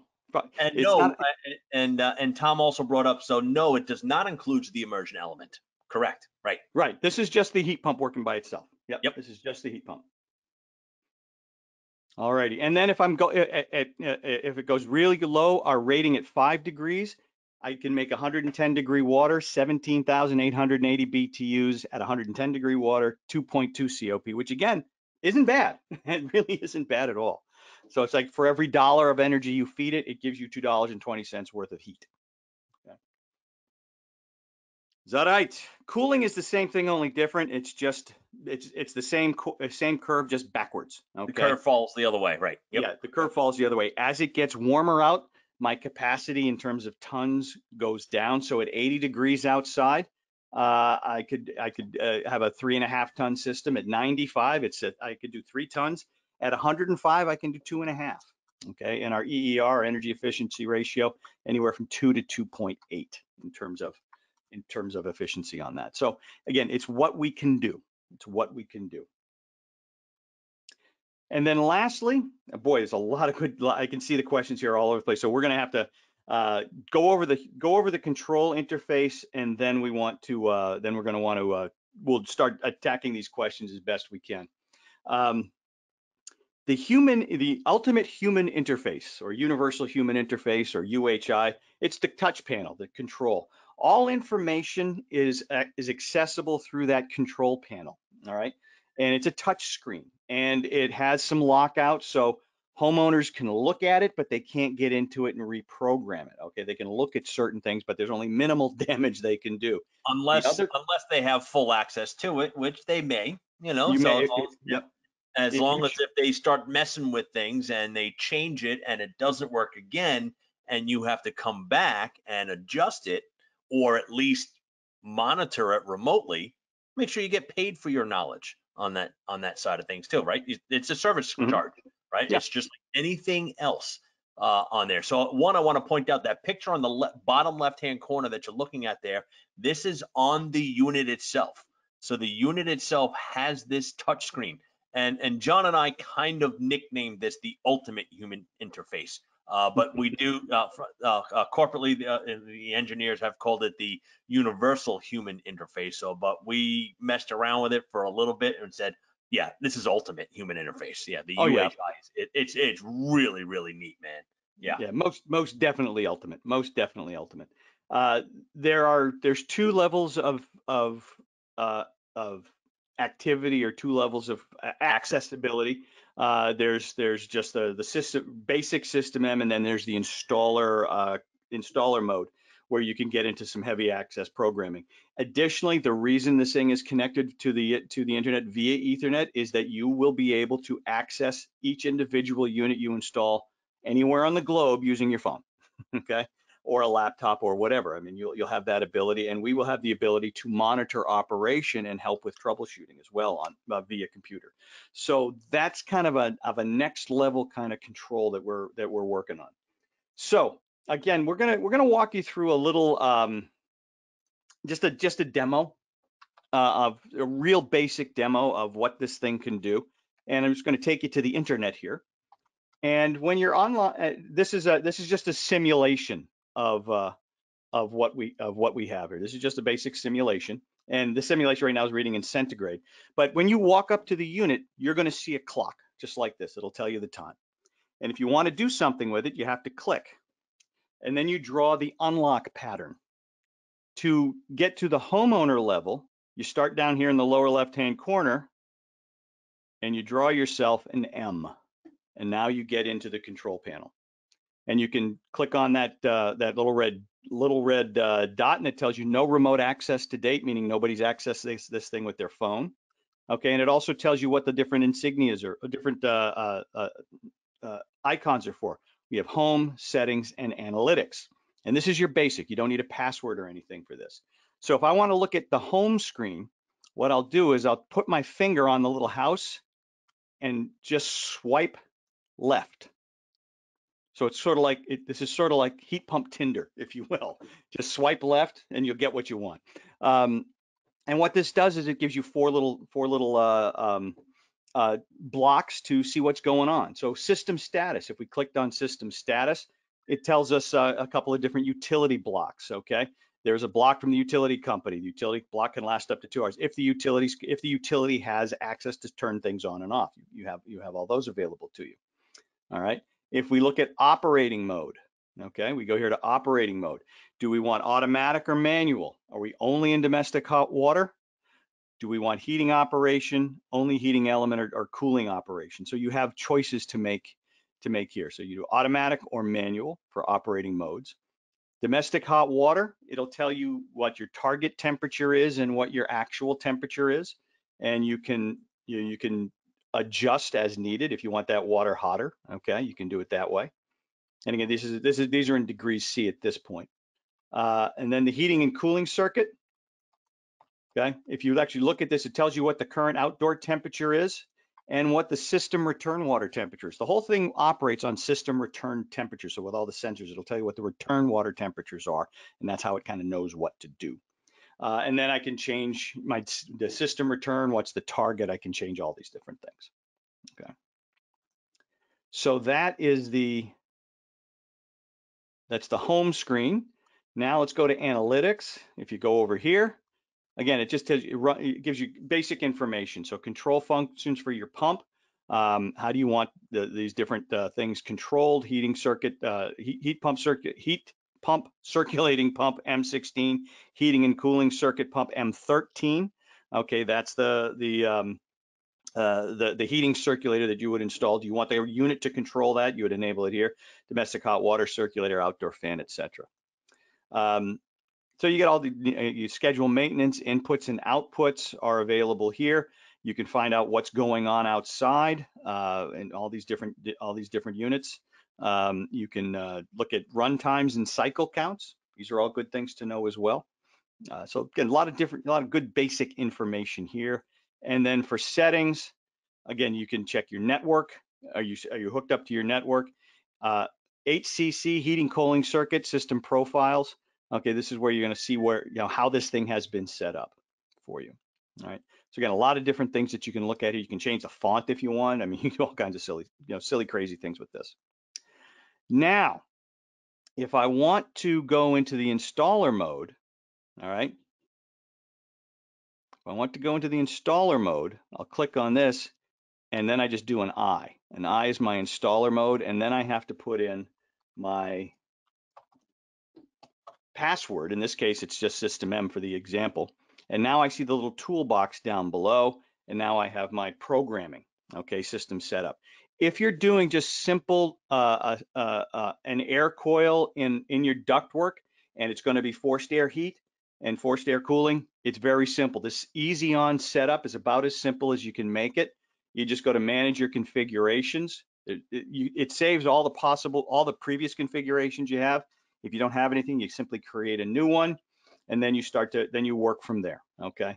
And then these little dots here allow you to uh, uh, uh, check your different values for your settings, etc. So my immersion heater, uh, et do I need to change that or do I leave it as, as, as it is?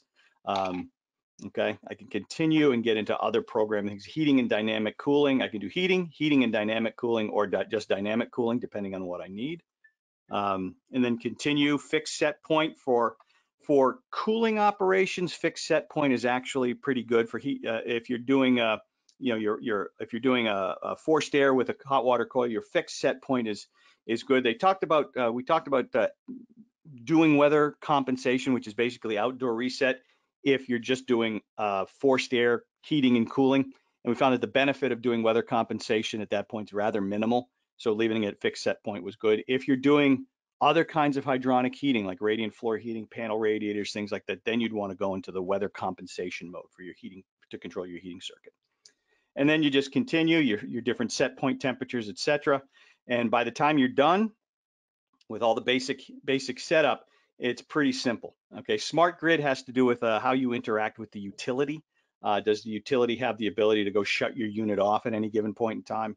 Then you, you, that's a yes or no. If you want them to have that, if they make a deal with you for that, that's that's how you would you would use that that particular thing. Yeah, that that'll depend upon what part of the country you're in. If you have smart grid technology uh, available to you, and you get some incentives for connecting to the smart grid, so uh, we have that capabilities also built into uh, uh the unit itself. So uh, if if you know about smart grid, then you've got it in your neck of the woods. Uh, if you don't know about smart grid, then you don't have it in your neck of the woods.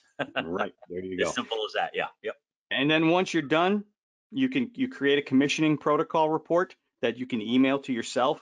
Uh, so you know how this you can save on how the the the, setup of this particular unit, and um, you'll have that you'll have that data with you. So in case anybody goes to uh, goes to change it, then we're okay. We create our commissioning report, etc. So there you go that's about as much as we're prepared to really get into the the controlling of it. We just wanted to share it with you if we could, so you guys had an idea of what it was like, what was what its capabilities were.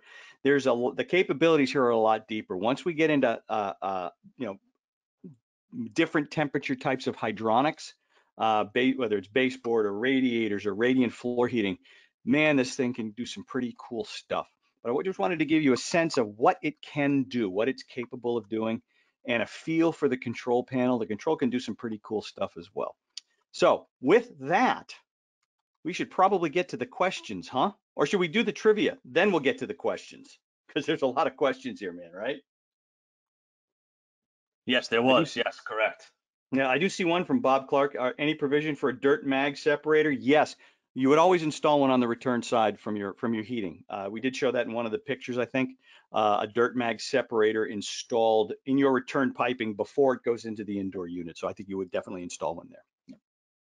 All right, are we ready, Dave? I am ready, my man. Okay, we're going to answer the trivia question, and then we're going to answer your questions. But boy, oh boy, do you have a ton of them. Uh, here we go. So Bryant Gumbel, or Gumball, as it says here, is interviewing Jerry but can't get through the interview without making fun of the puffy shirt, right? What was the TV show that Jerry was being interviewed on? What was it, Dave? It was the Today Show. It was the Today Show. See by the picture there, yes. And Jerry says, I don't want to be a pirate. So that Ah, is the yes, Today yes, Show. yes. So very good. I- I'm guessing we had a whole bunch of right answers there, right? We did have a, quite a few bun, uh, quite a few right answers out there tonight. So yes, thank you everybody that did answer, uh, and, and, and played and have some fun with us too. I, I hope you all had fun and I, and I hope the themes, you know, uh, just bring back some nostalgia for some of you that, you know, grew up on these shows or if you're watching them on reruns and Netflix and all that jazz out there nowadays. You know, those of us like me that, you know, couldn't wait till Thursday night to watch all these shows, you know, because that's what that was the power night to watch them. So, um, you know, instead of stream, you know, uh, instead of uh, Netflix and chill for a couple of hours. So uh, I had fun doing them. You know, we had John and I have fun making these presentations with the themes behind it. Uh, you know what? While we're building them, and then all of a sudden you just find that perfect picture, you know, and you're sitting here in your office by yourself laughing your ass off. Yeah, it, it, it kind of makes it worth it, I think, you know, um, especially when you pull out some of these old shows like that. So uh, I, I had fun. I had fun creating this one tonight. So uh, again, thank you for laughing along with us when you saw something funny pop up on the screen. So All righty. And just to, just before we get to the, the, the spinning wheel and the rest of your questions, uh, Taco After Dark will, uh, this is our, this is our last one for the winter, uh, for the, for the, uh, for the winter mode, or for the winter sessions. Uh, we're going to start the spring session April 20th, Wednesday night, April 20th, and we're going to be doing the eight week Taco Factory training program. So if you've ever wanted to come to the Taco Factory training but couldn't make it to Cranston for the three, for the two days, we're going to give it to you one slice at a time, one hour at a time over eight weeks starting on April 20th. So we'll be we'd love to have you come and join us if you haven't been through it before. Um, we'll be talking a little bit more about the about the the System M throughout this program as well. So uh, that'll be a good time. So uh, keep your eyes and ears open for that, uh, both from us and Mechanical Hub, and that'll start on April 20th. So there it is. There it is. Dave, I'm going to give it back to you for the spinny spinny. excellent. right. Thank you. All right, there you go.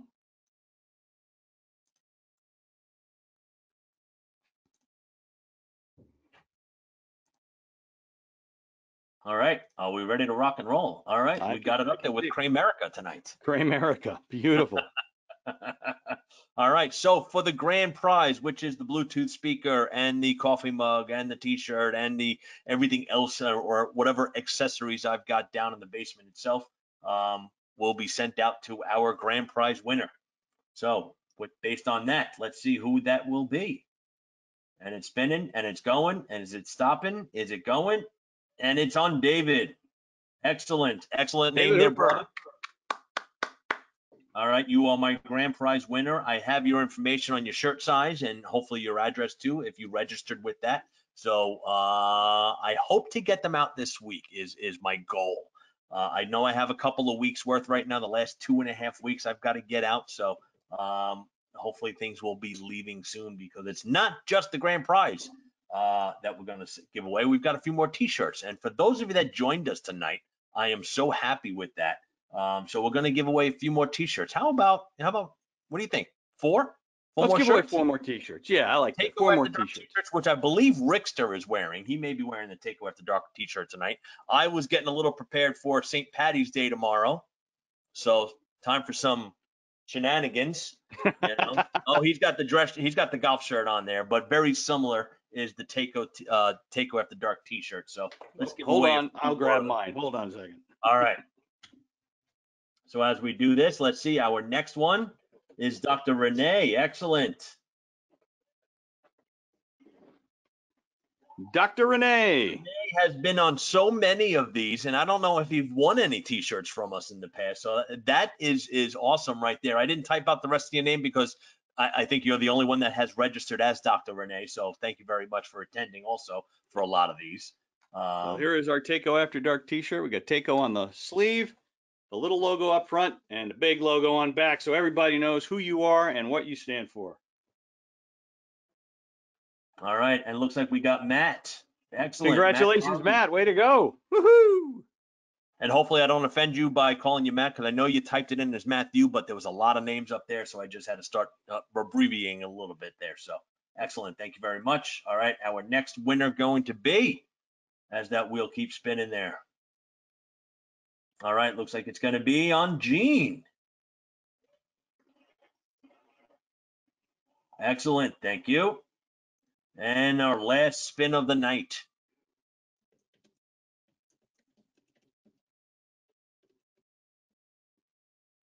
And the last one in, the last answer that we got in was Dan. He got it in under the wire.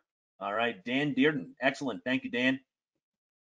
He all of a sudden remembered it was literally about five minutes ago. He's like, oh, he had to type that one in there. excellent. Congrats, Dan. excellent. Way to be. All right. Okay. How far back do we go with these questions? Let's see what we can what we can oh do. my goodness, yeah. It, it, there were a lot of questions coming through. We may have answered half of them. Uh, I hope we did, and and there will be some questions, and and we're honestly going to say we don't have the answer to. All right, or we just don't know when. You know, there's there's things of when it's coming, and uh, or this or that, or or or, or information more to have. Um, it will be coming out as soon as we can. So John and I wanted to give you guys all, like you said, a teaser. Uh, it's coming out later this year, sometime this summer. Uh, we do know that uh, applica- uh, uh, product will be coming uh, and be made available, but things will be coming uh, in the future itself. So And let's uh, let's invite Mike Mike Miller. If you want to turn on your webcam and join us too, this would be this would be an awesome time for you to be part of this discussion as well. Uh, Mike's uh, uh, Mike is the head honcho of Taco of Canada, and uh, uh, was one of the pri- is one of the prime movers behind the uh, the the System M uh, program. And if if the three of us don't have an answer, Mike may. so there's Mike. Mike's one of the smarter. Mike is one of the smarter people that I know. I, he's not quite as smart as Rick Mayo. Not when I'm in your guys' company. I learned almost everything I know from Mike Miller, so I'd have to disagree. Almost, you said. Almost. All right. All right.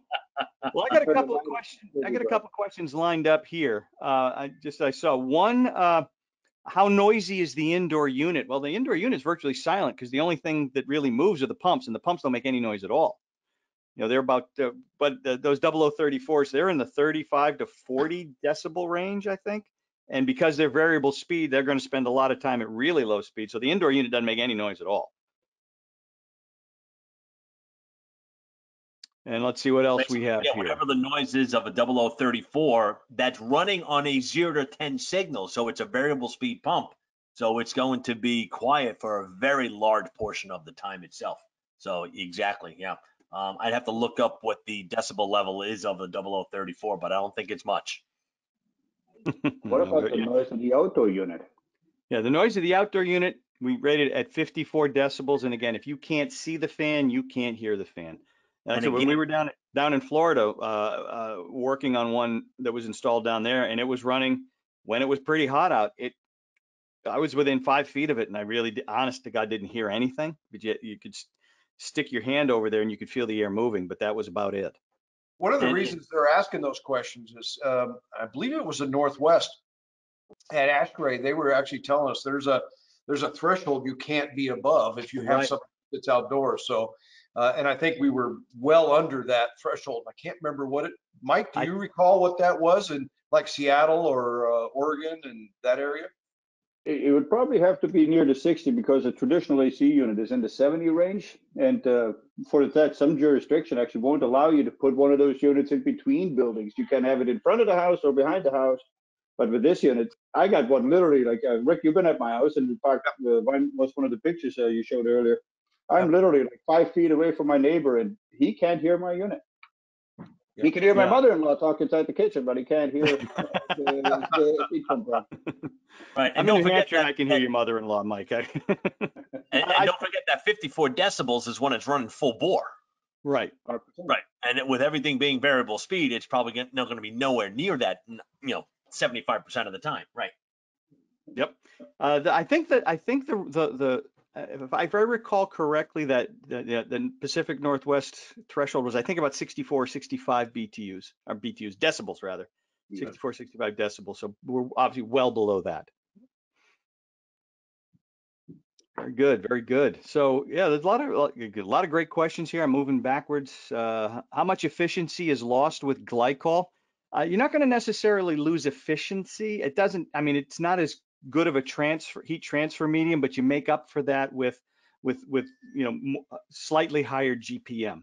Okay, so your circulate you, you'll find that if you do your GPM divide equals GPM equals BTUH divided by delta T times whatever number you multiply by, uh, with uh, your glycol percentage. Let's say it's a 30% glycol silent, 30% glycol percentage.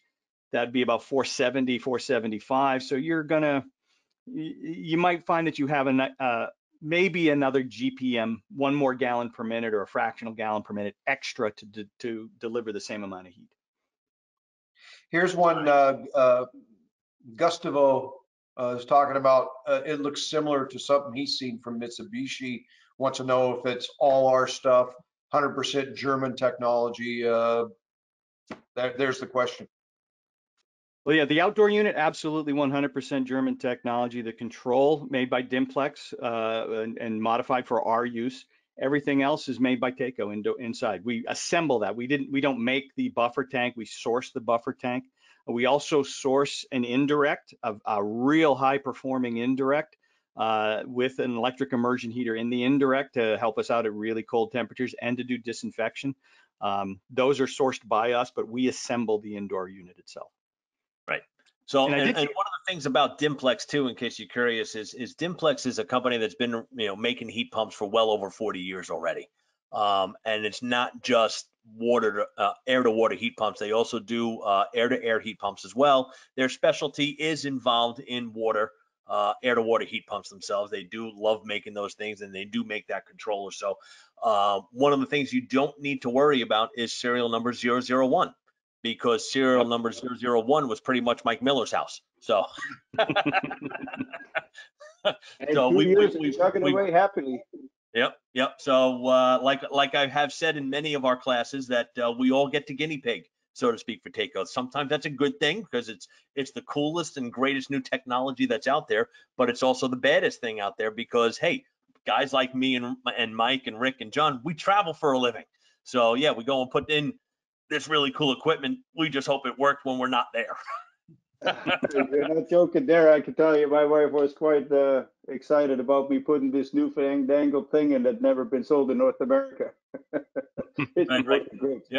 Oh So I got Thank So, so I'm going to jump back to to almost uh, uh, uh, uh, 50 minutes ago with some questions. So Rich had asked, is there a circulator in the outdoor unit? Uh, no, there isn't. So those pictures that Rich uh, that my, uh, John was showing before were the the tappings that you saw when we saw the the line drawing of the outdoor unit, uh, there were two connections come in, and then it basically right from there tied into a flat plate heat exchanger. All right, so the circulators are on the indoor unit. So we have a very small amount of pipe on the outside, as well as a uh, the flat plate heat exchanger that's there. So the, no circulators in the outdoor unit at all. Um, so I'm just going to go down the line that I'm seeing here, John, if you don't mind.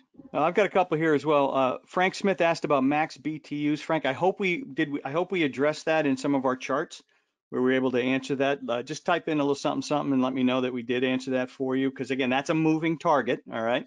Uh, can we put magnets on the indoor unit like we do on our beer fridge? Why not? Yeah, sure. I like it. I like your style. And is and then a follow up question: Is Taco going to have magnets? Great idea. Great idea. All right, Gotta your turn, the takeaway Dave. after dark magnets. Yeah, man. So that's actually where I was. I was starting it with Bob's questions there. Yeah. Woohoo, yeah, just Yeah. like what Rick has. There you go. Oh yeah, this is the well. It's not a magnet. It's a. It's a. It's actually a um, coaster on your desk. Yes. Lick it and stick it. Uh, so Timothy was asking, if would we have any demo units? Oh yeah, we're just gonna put it on the trailer and just drag it behind the, uh, you know, the the smart car, uh, to, to to show around to local distributors. So that's that's still stuff that we have out in the, uh, you know, in the works, so to speak. As as how do we get this information and how do we get this product out to you to to touch and see and uh, and, and like John John said before, this is this is early technology for us. This is an early time to bring it out to you guys. Uh, so uh, goes along with the question is, so how much? Right? Yes. How's that uh, right Yeah. now? Again, information that hasn't been shared with uh, with the four of us just yet.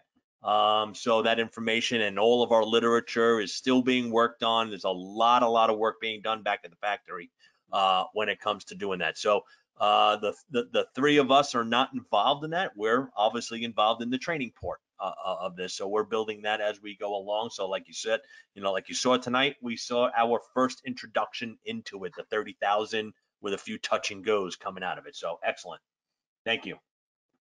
Hey, uh, there's one from Bob Clark that's uh, asking about methanol allowed. And uh, if I'm understanding that question right, is that typically for um, ground source heat pumps? Uh, for the, you know, the fluid that's going out, mixing it with methanol coming back. Um, Mike Miller, what do you say on that? Uh, it, all we need is some type of glycol uh, water mixture, right? Or what, what would he mean by methanol? I'm not uh, certain, to be honest. Uh, in my system, we utilized a little bit of uh, glycol, but it wasn't. Uh, it was just a regular uh, hydronic type. Yeah. Yeah, the, I mean, the refrigerant in the, in the monoblock system is already factory sealed and all that. On the, on the water side, it's, it's, it's, we're looking at a glycol solution, probably about, a again, whatever is necessary, 20, 30%. You don't want to overdo it, obviously. All right, multiple air handlers capable, asks Rich McGrath. Uh, as, as long as the, uh, as long as the, uh, the, the load can, as long as it can handle the load, that's just zoning, right? You can zone to a couple of different air handlers if necessary, provided, provided we can handle the BTU load. So yeah, I Right. would say yes with an asterisk to that one. Right, uh, uh, yeah, as, as long as you- one, you're, you're, if you're gonna do it with one circulator and zone valves, great. Like I said before, that would be the preferred method. So we have a zero to ten volt circulator, uh, and, and we're gonna take control of that. But if you're going to go with individual circs based upon the design, then individual circs it is with a standard, uh, uh, SR control, switching those circs on and off. So yeah, more than one air handler is more than, is fine. Yeah, definitely. And, and when you're looking at air handlers, you know, you're looking at those low temperature air handlers and, and there's several, there's a lot of manufacturers out there that are using low temp. It doesn't need to be the 180. So a, a vast majority of them are doing 120 degrees as the supply water temp, but there's a, a few of them that go even lower. Uh, I was just looking at one earlier today that uh, even has ratings uh, as low as 90 degree fluid temperature sending to the fan coil itself, which and still going to get some BTU output for you. So like we like we've been talking about the last couple of weeks, the lower the temperature, you know, the, the better off you can be with it. So if you know what you're doing and you know how you're designing, you know, get to that low number that you're looking for. So Rick Coaster asked about maximum water temperature for domestic. Uh, the number I'm remembering is 120. Is that correct? If one- we- We can make 120 degree water with our unit uh, in the in the indirect tank. That's why the electric immersion heater in the indirect tank is so important because that is used for disinfecting. It'll drive that temperature up to 140 every few days. That you can program how often it does that. Uh, and, and, and you can also program when we regenerate the domestic hot water tank. The tank we're offering is 85 gallons with about 33 square feet of heat exchanger area. That's going to be the, no, 35, it was 35. it was 3.3 square meters. Yeah, that's 35 square feet. I did the math. 35 square feet? Okay. Yep. Yep. Um, so that's a lot. And uh, you, you can use ours, but if you choose to use a different one, understand the electric immersion heater is an important uh, piece that needs to be included, as well as make sure that whatever you choose, the heat exchanger has about 35, 33 to 35 square feet of surface area. Uh, that's for that for that recovery for that that exchange of heat. That that's that's that's the real critical part. All right, what else do we have here? Uh, do you get domestic got- hot water when running in the cooling Oh, mode? We, yep. we, Yep. we got that one? There was a question on the indirect, uh, so thank you. Um, and can units be twinned? So right now, based upon the controller itself, as far as I know, it is what we call a monovalent uh, system. All right, so it's not uh, the controller is not going to be able to communicate with several units themselves. So right now, we're monovalent with one unit. Yes. So is the question, what are you going to do for larger buildings than the 2,500 square foot or 3,000 square foot you might be able to do with one? You'll just possibly size it like you would the furnace, two separate systems. Yep. Here's a good question. How do we get people to stop being chicken about sizing? This is from Nate. you can usually meet load at two thirds or even half of manual J. I could hold a class on it if helpful. Nate, we might we might take you up on that.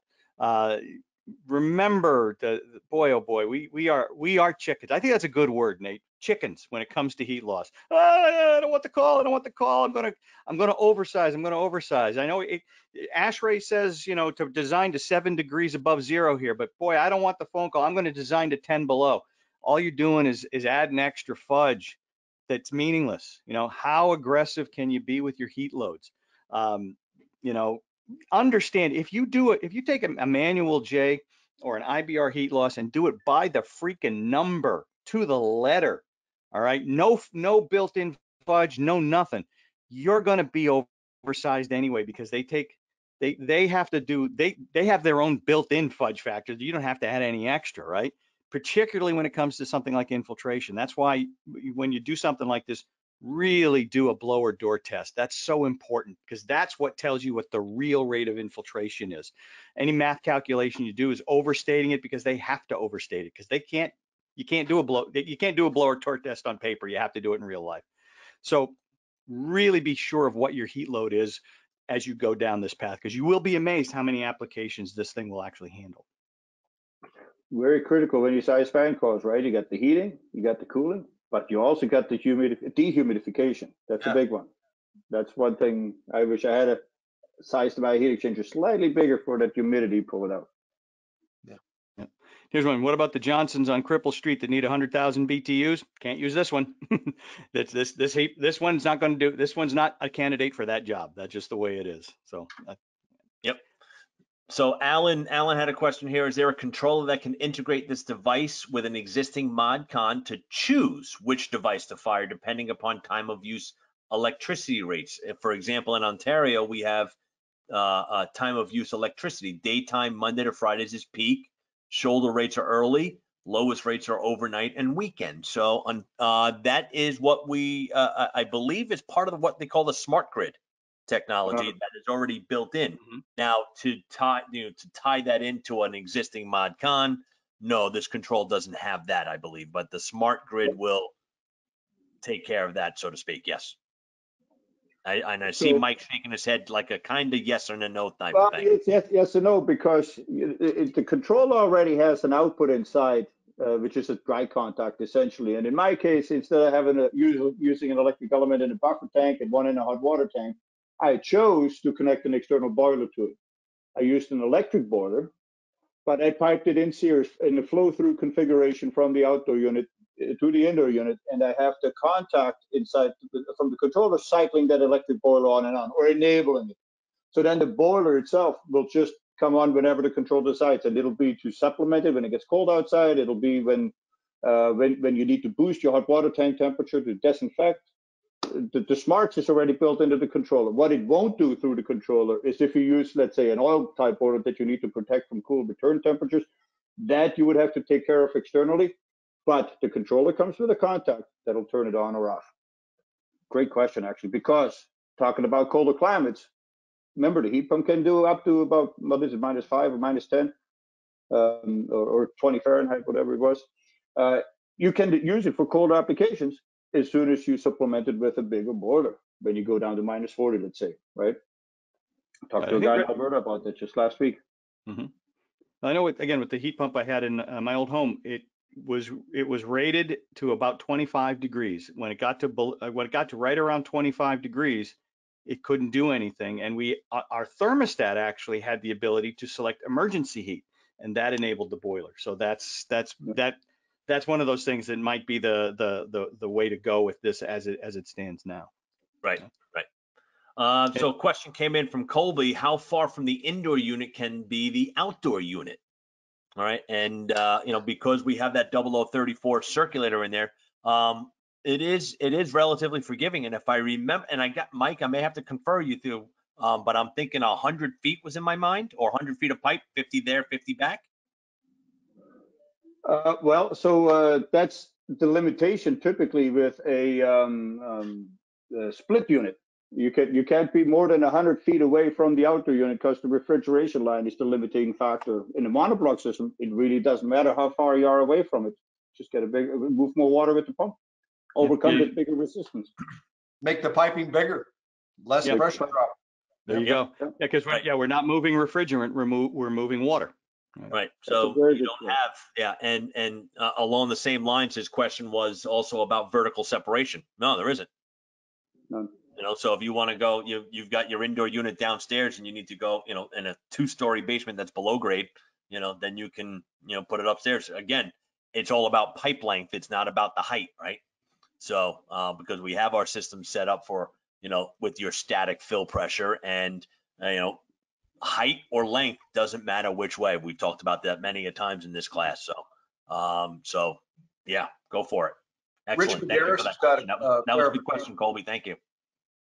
Um, the thermostat, is there a thermostat that's part of the M unit? Or do we use our own? Very That's a good question. Thermostats for zoning only. This does not have a thermostat enable. This kind of monitors its own water temperature and takes care of itself.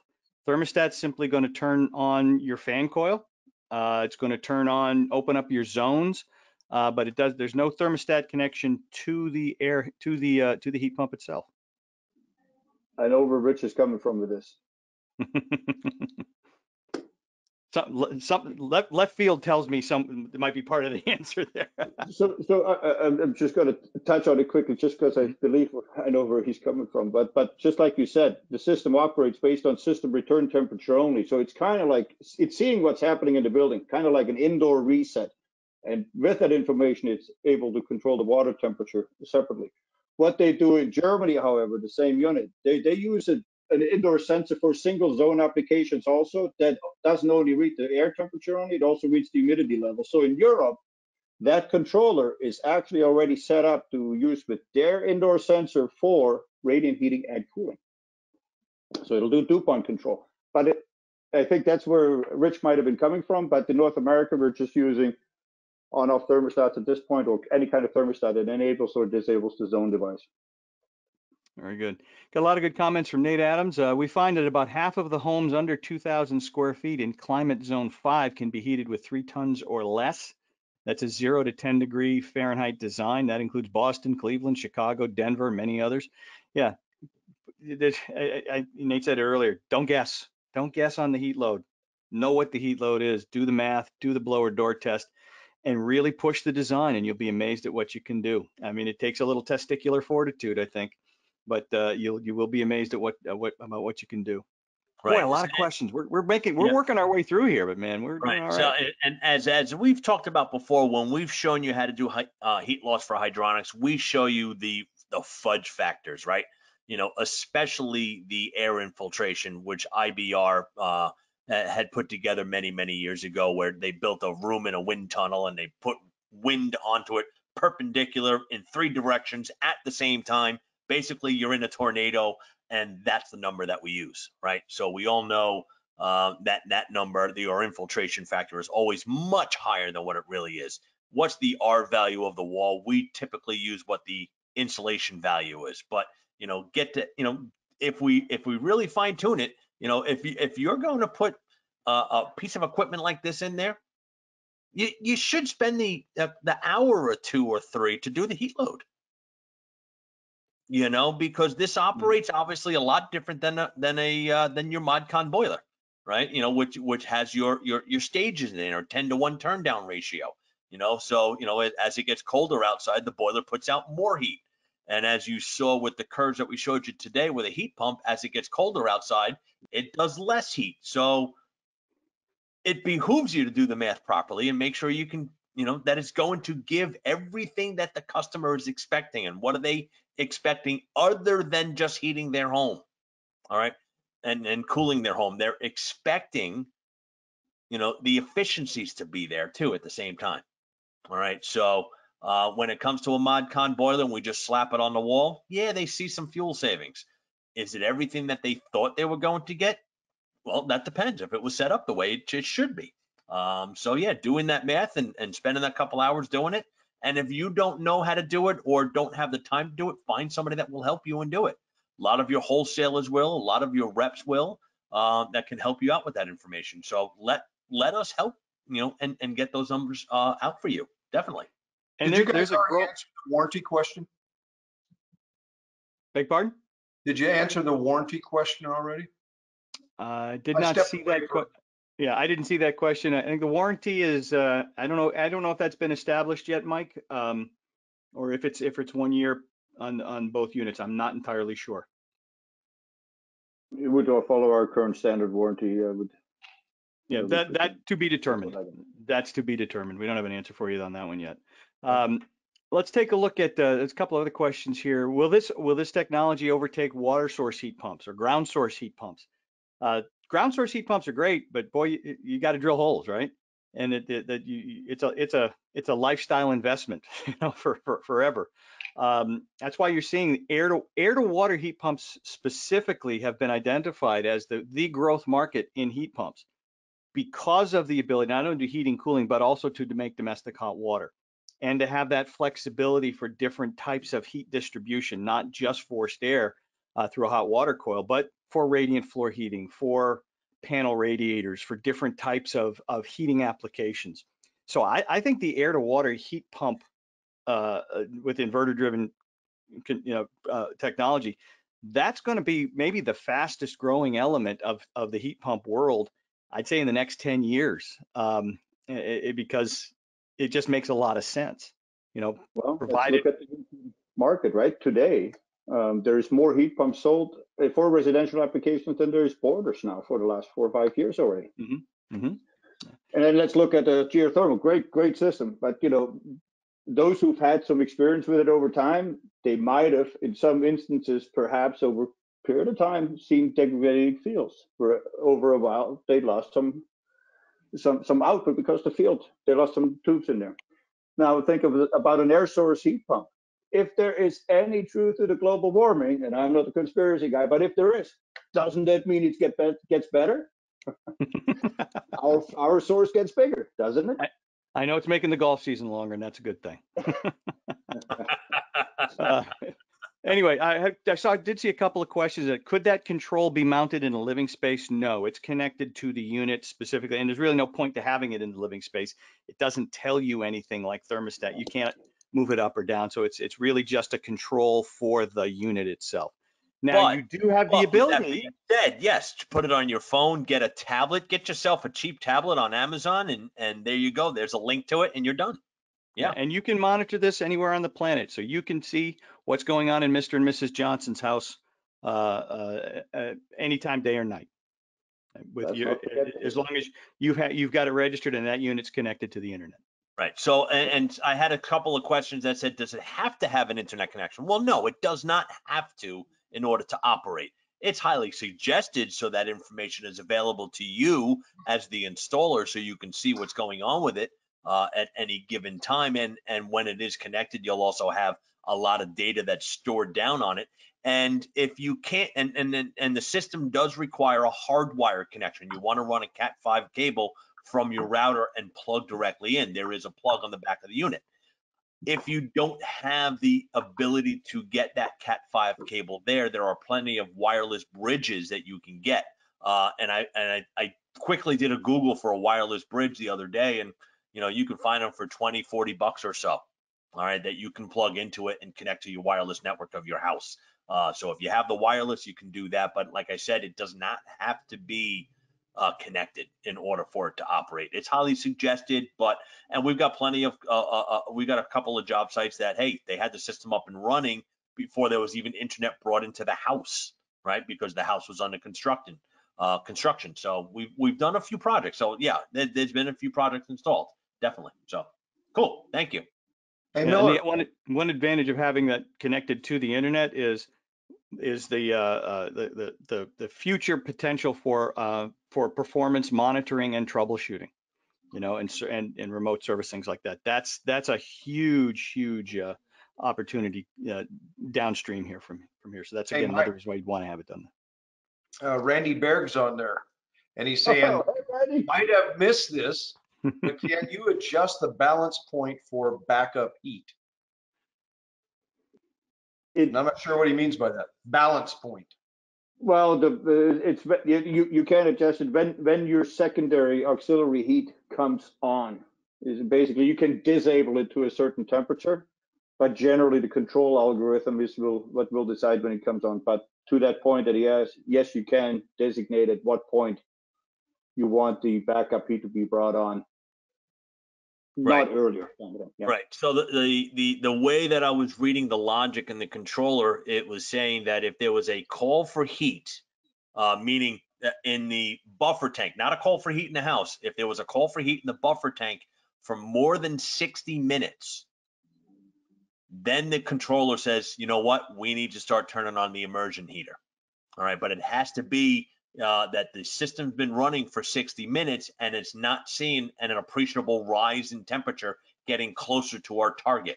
So that's the, what, what we're looking. So there's a lot of logic built into it. So it's not just saying, all right, well, it's not getting there, so let's just turn on the electric. It wants to not turn on the electric, uh, is really what we're trying to say too. It's saying, hey, we're going to try to make heat as much as we can to try to charge up that buffer tank uh, and get there. So if it takes over 60 minutes and we're not seeing the temperature rise, then it says, all right, then kick on that electric element.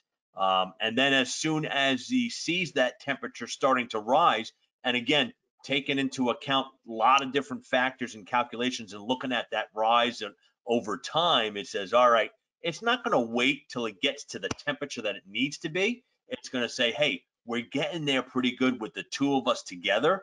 So let's kick out the electric. Let's see what the heat pump's going to do out of it uh, for us now too. So it really wants to. The, the logic is not just kicking it on, run to that, turn off the heat pump, then okay, we get to the temperature, now turn off the electric, go back to heat pump. So the the two units are kind of in unison, but also based upon that section point that John was showing you before, where it hit the outside maximum uh, on that curve. It says, all right, you know, based upon your application, your system, uh, it's going to have that triangle that it was calculating in there for the electric use. Um, so it, it's it's pretty cool. It, it, it was pretty cool uh, to really learn how that worked. Neat stuff. Thank you. Yeah. Here's a question out of left field here about, it's got nothing to do with heat pumps. It's about how heat sensitive are the sweat zone valves? I'm concerned about damaging them while soldering them.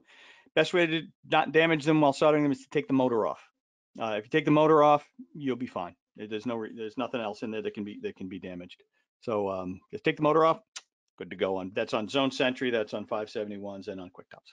Uh, and I believe the ones that we have on on this unit anyway are threaded valves, or as far as I know. Oh, he's talking about just, I think he was talking about zone valves in general. Okay.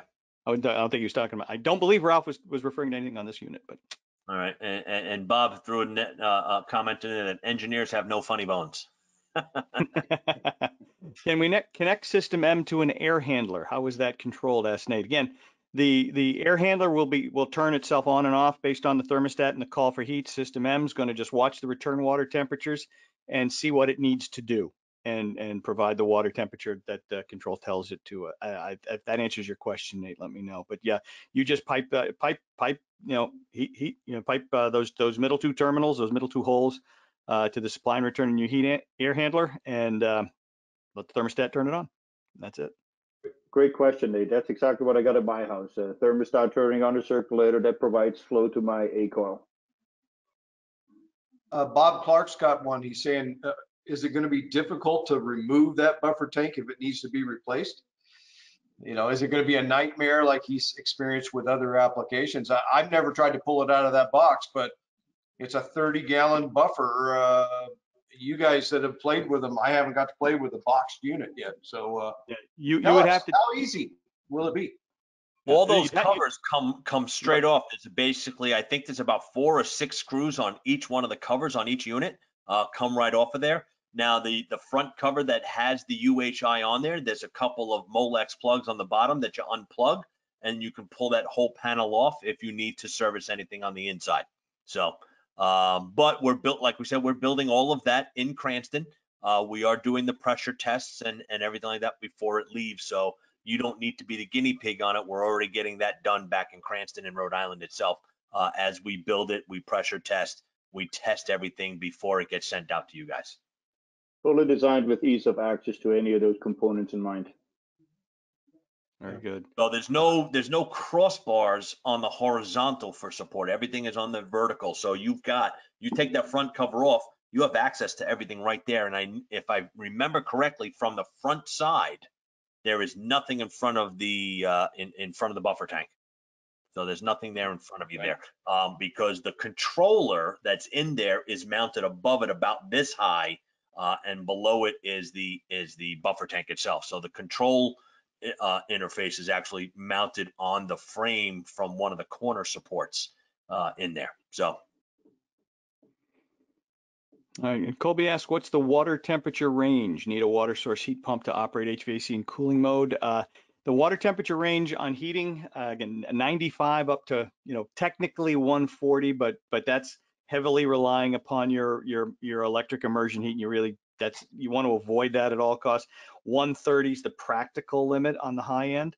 Uh, on the cooling mode, uh, help me out. It's 40, 64 to 44. 44, yep.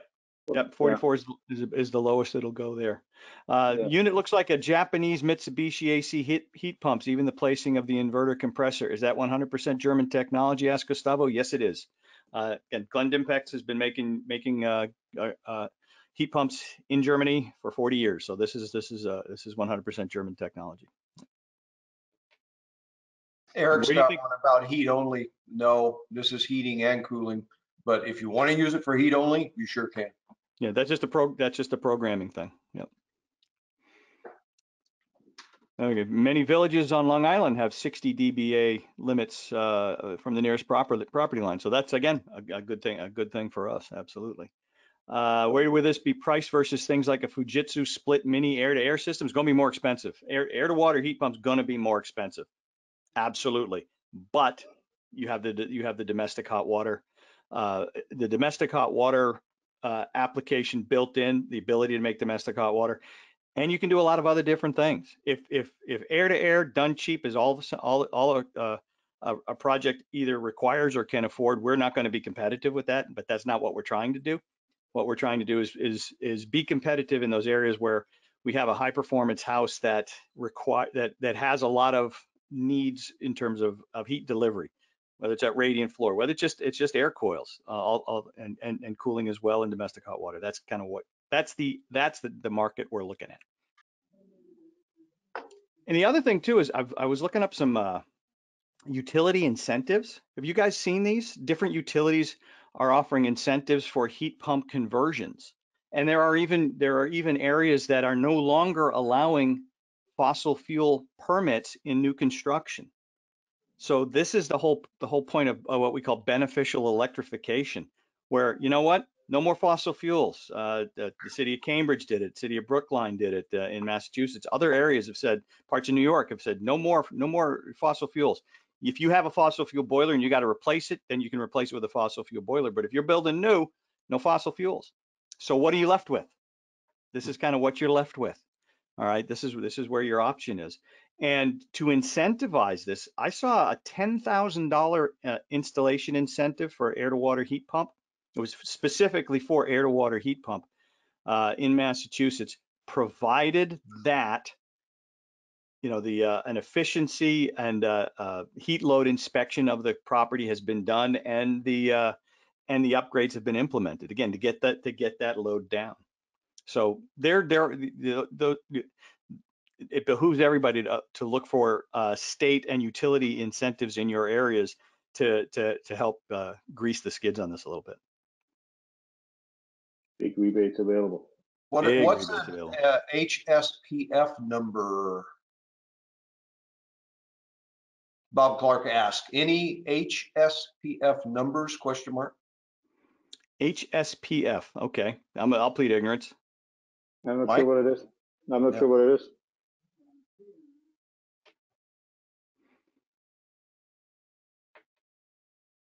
Maybe he can type it out.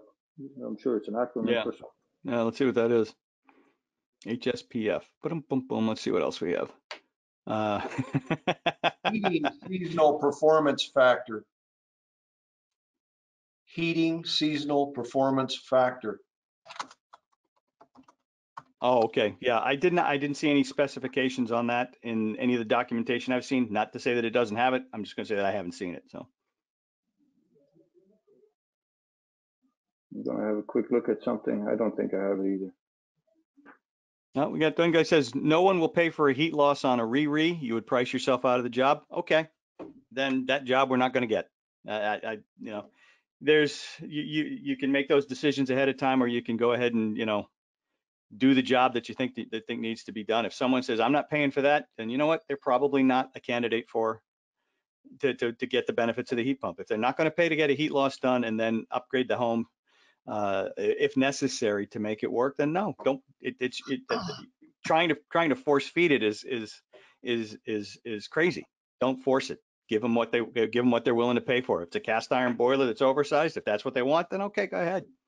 You know, it's, a- it- you don't want to, you, you- can only hit a hammer, you can hit a nail only so, so hard with a hammer, right?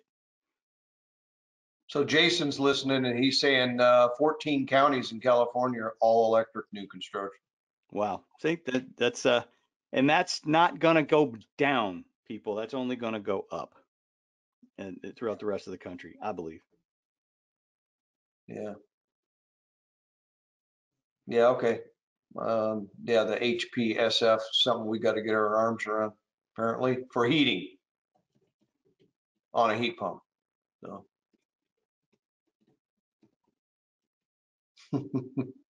Nate says California's easy. They don't have a climate.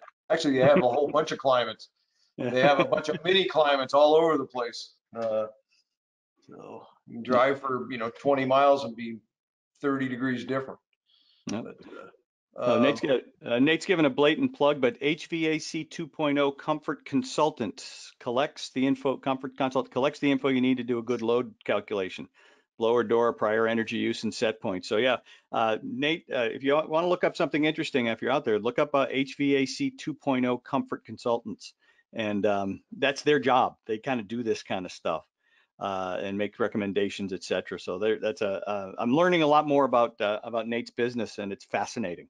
Uh, it's a, it's, yeah, I think, uh, uh, you know, you know how they say some guys are playing, some guys are playing chess while other guys are playing checkers. All right. Nate's playing 3D chess in Klingon and I'm playing Candyland. Okay. That's kind of the difference between us. You know, Chutes and Ladders is more my speed. And just, just listening to some of the stuff that, that, that Nate, Nate's up to and, and guys like Rich McGrath, some of the stuff they do, I'm kind of sitting there going, I nod my head a lot and try not to look stupid. Well, sound stupid. I can if I don't say anything, I won't sound stupid. Looking stupid, I've got no I've got no control over. That, that's easy. Yeah, we can all do that. Definitely. Yeah. I, it's one of my one of my go-to moves is looking stupid. So there we go. All right. Can this be wired and piped to an emergency fossil fuel system when it gets to that efficiency point? I, I think we I think we addressed that one already, Robert. I think, but uh, it, the best thing is probably uh, by using a, a at this point using a, a thermostat where you can just disable the primary heat and go to the emergency heat. That's again how, how I did it in my old home. So.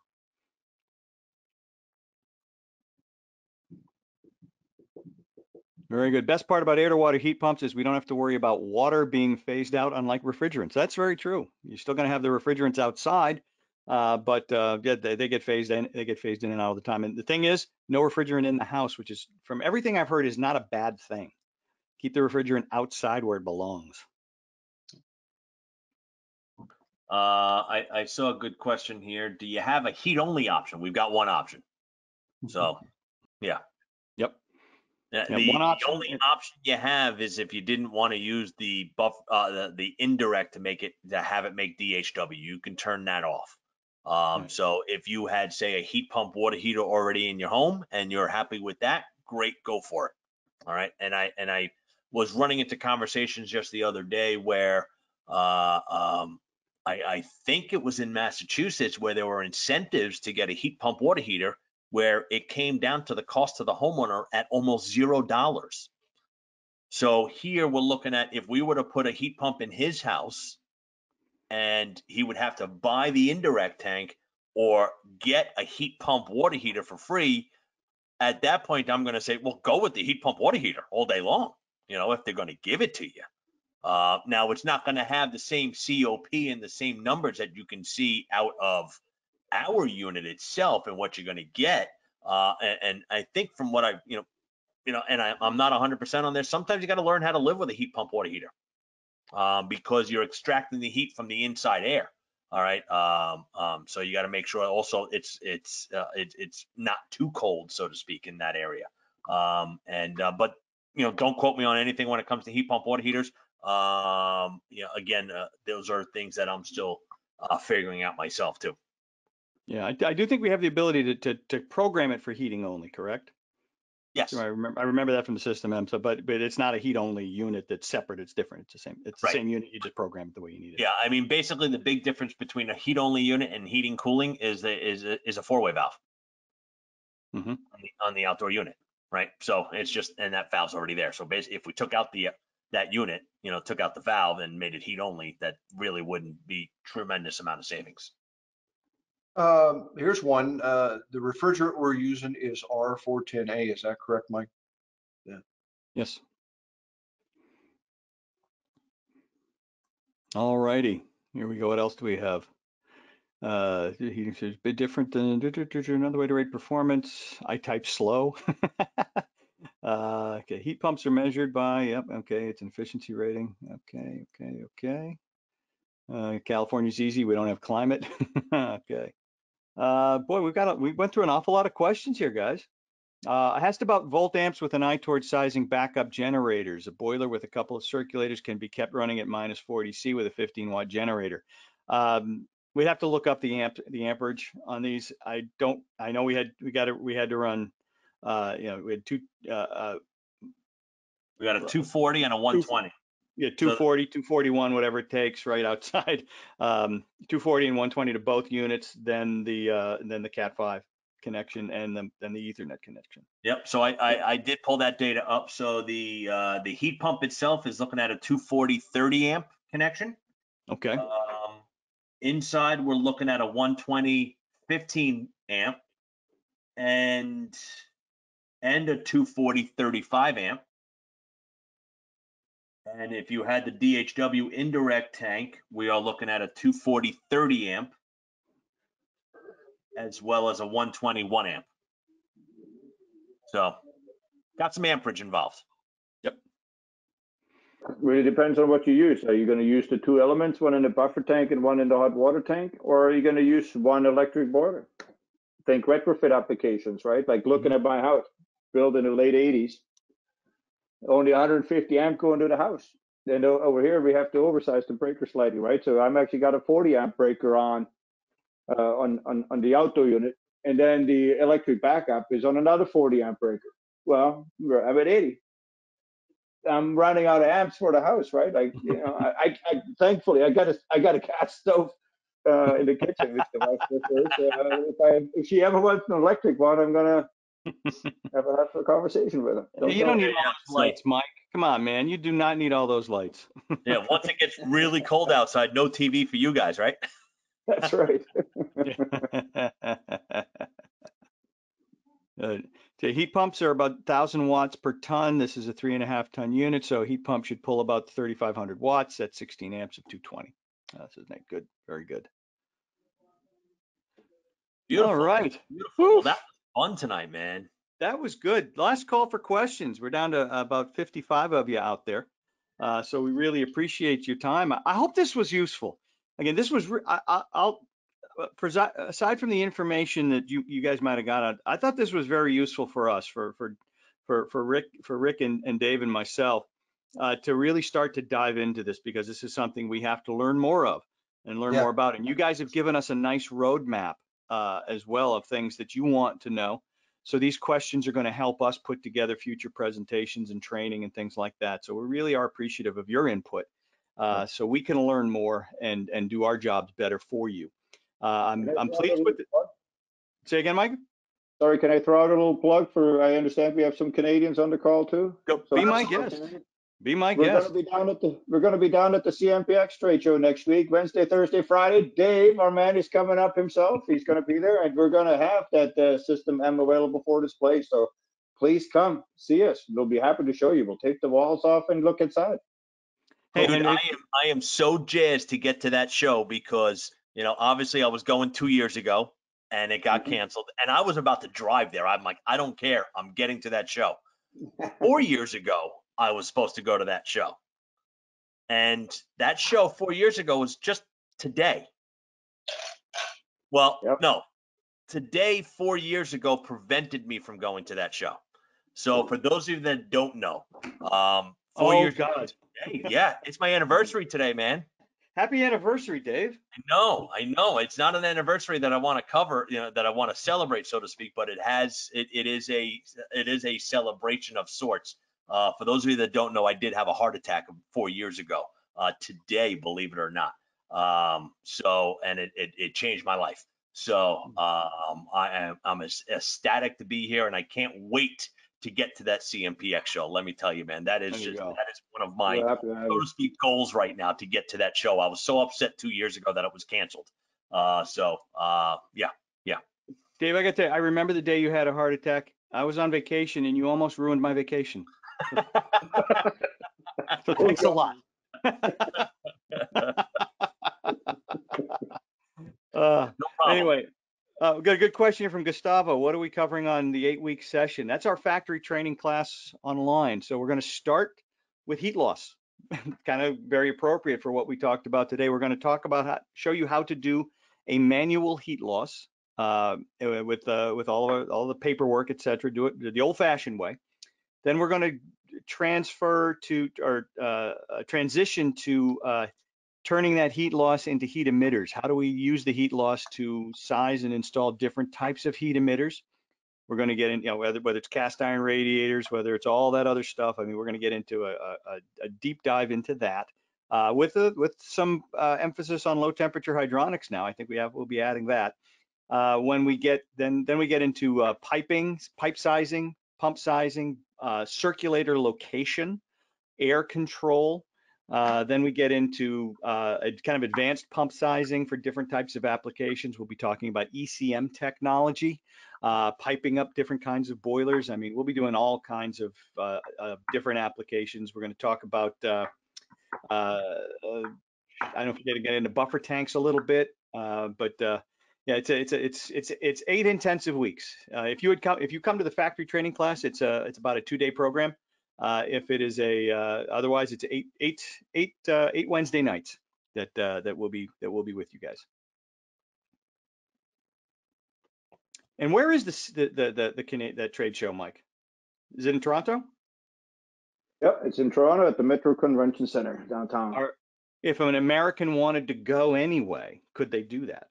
One hundred percent. We're happy. All right. We're open for business. Borders open. All you need is a rapid antigen test, and even that only another two weeks. As of uh, April first, no more testing to come across the border. Unfortunately, Dave, you'll just miss that. But I sent you an email earlier. You're set up for testing at the show for for your trip home. Uh, And Dave, and, and Dave's the kind of guy, he'll study for that test.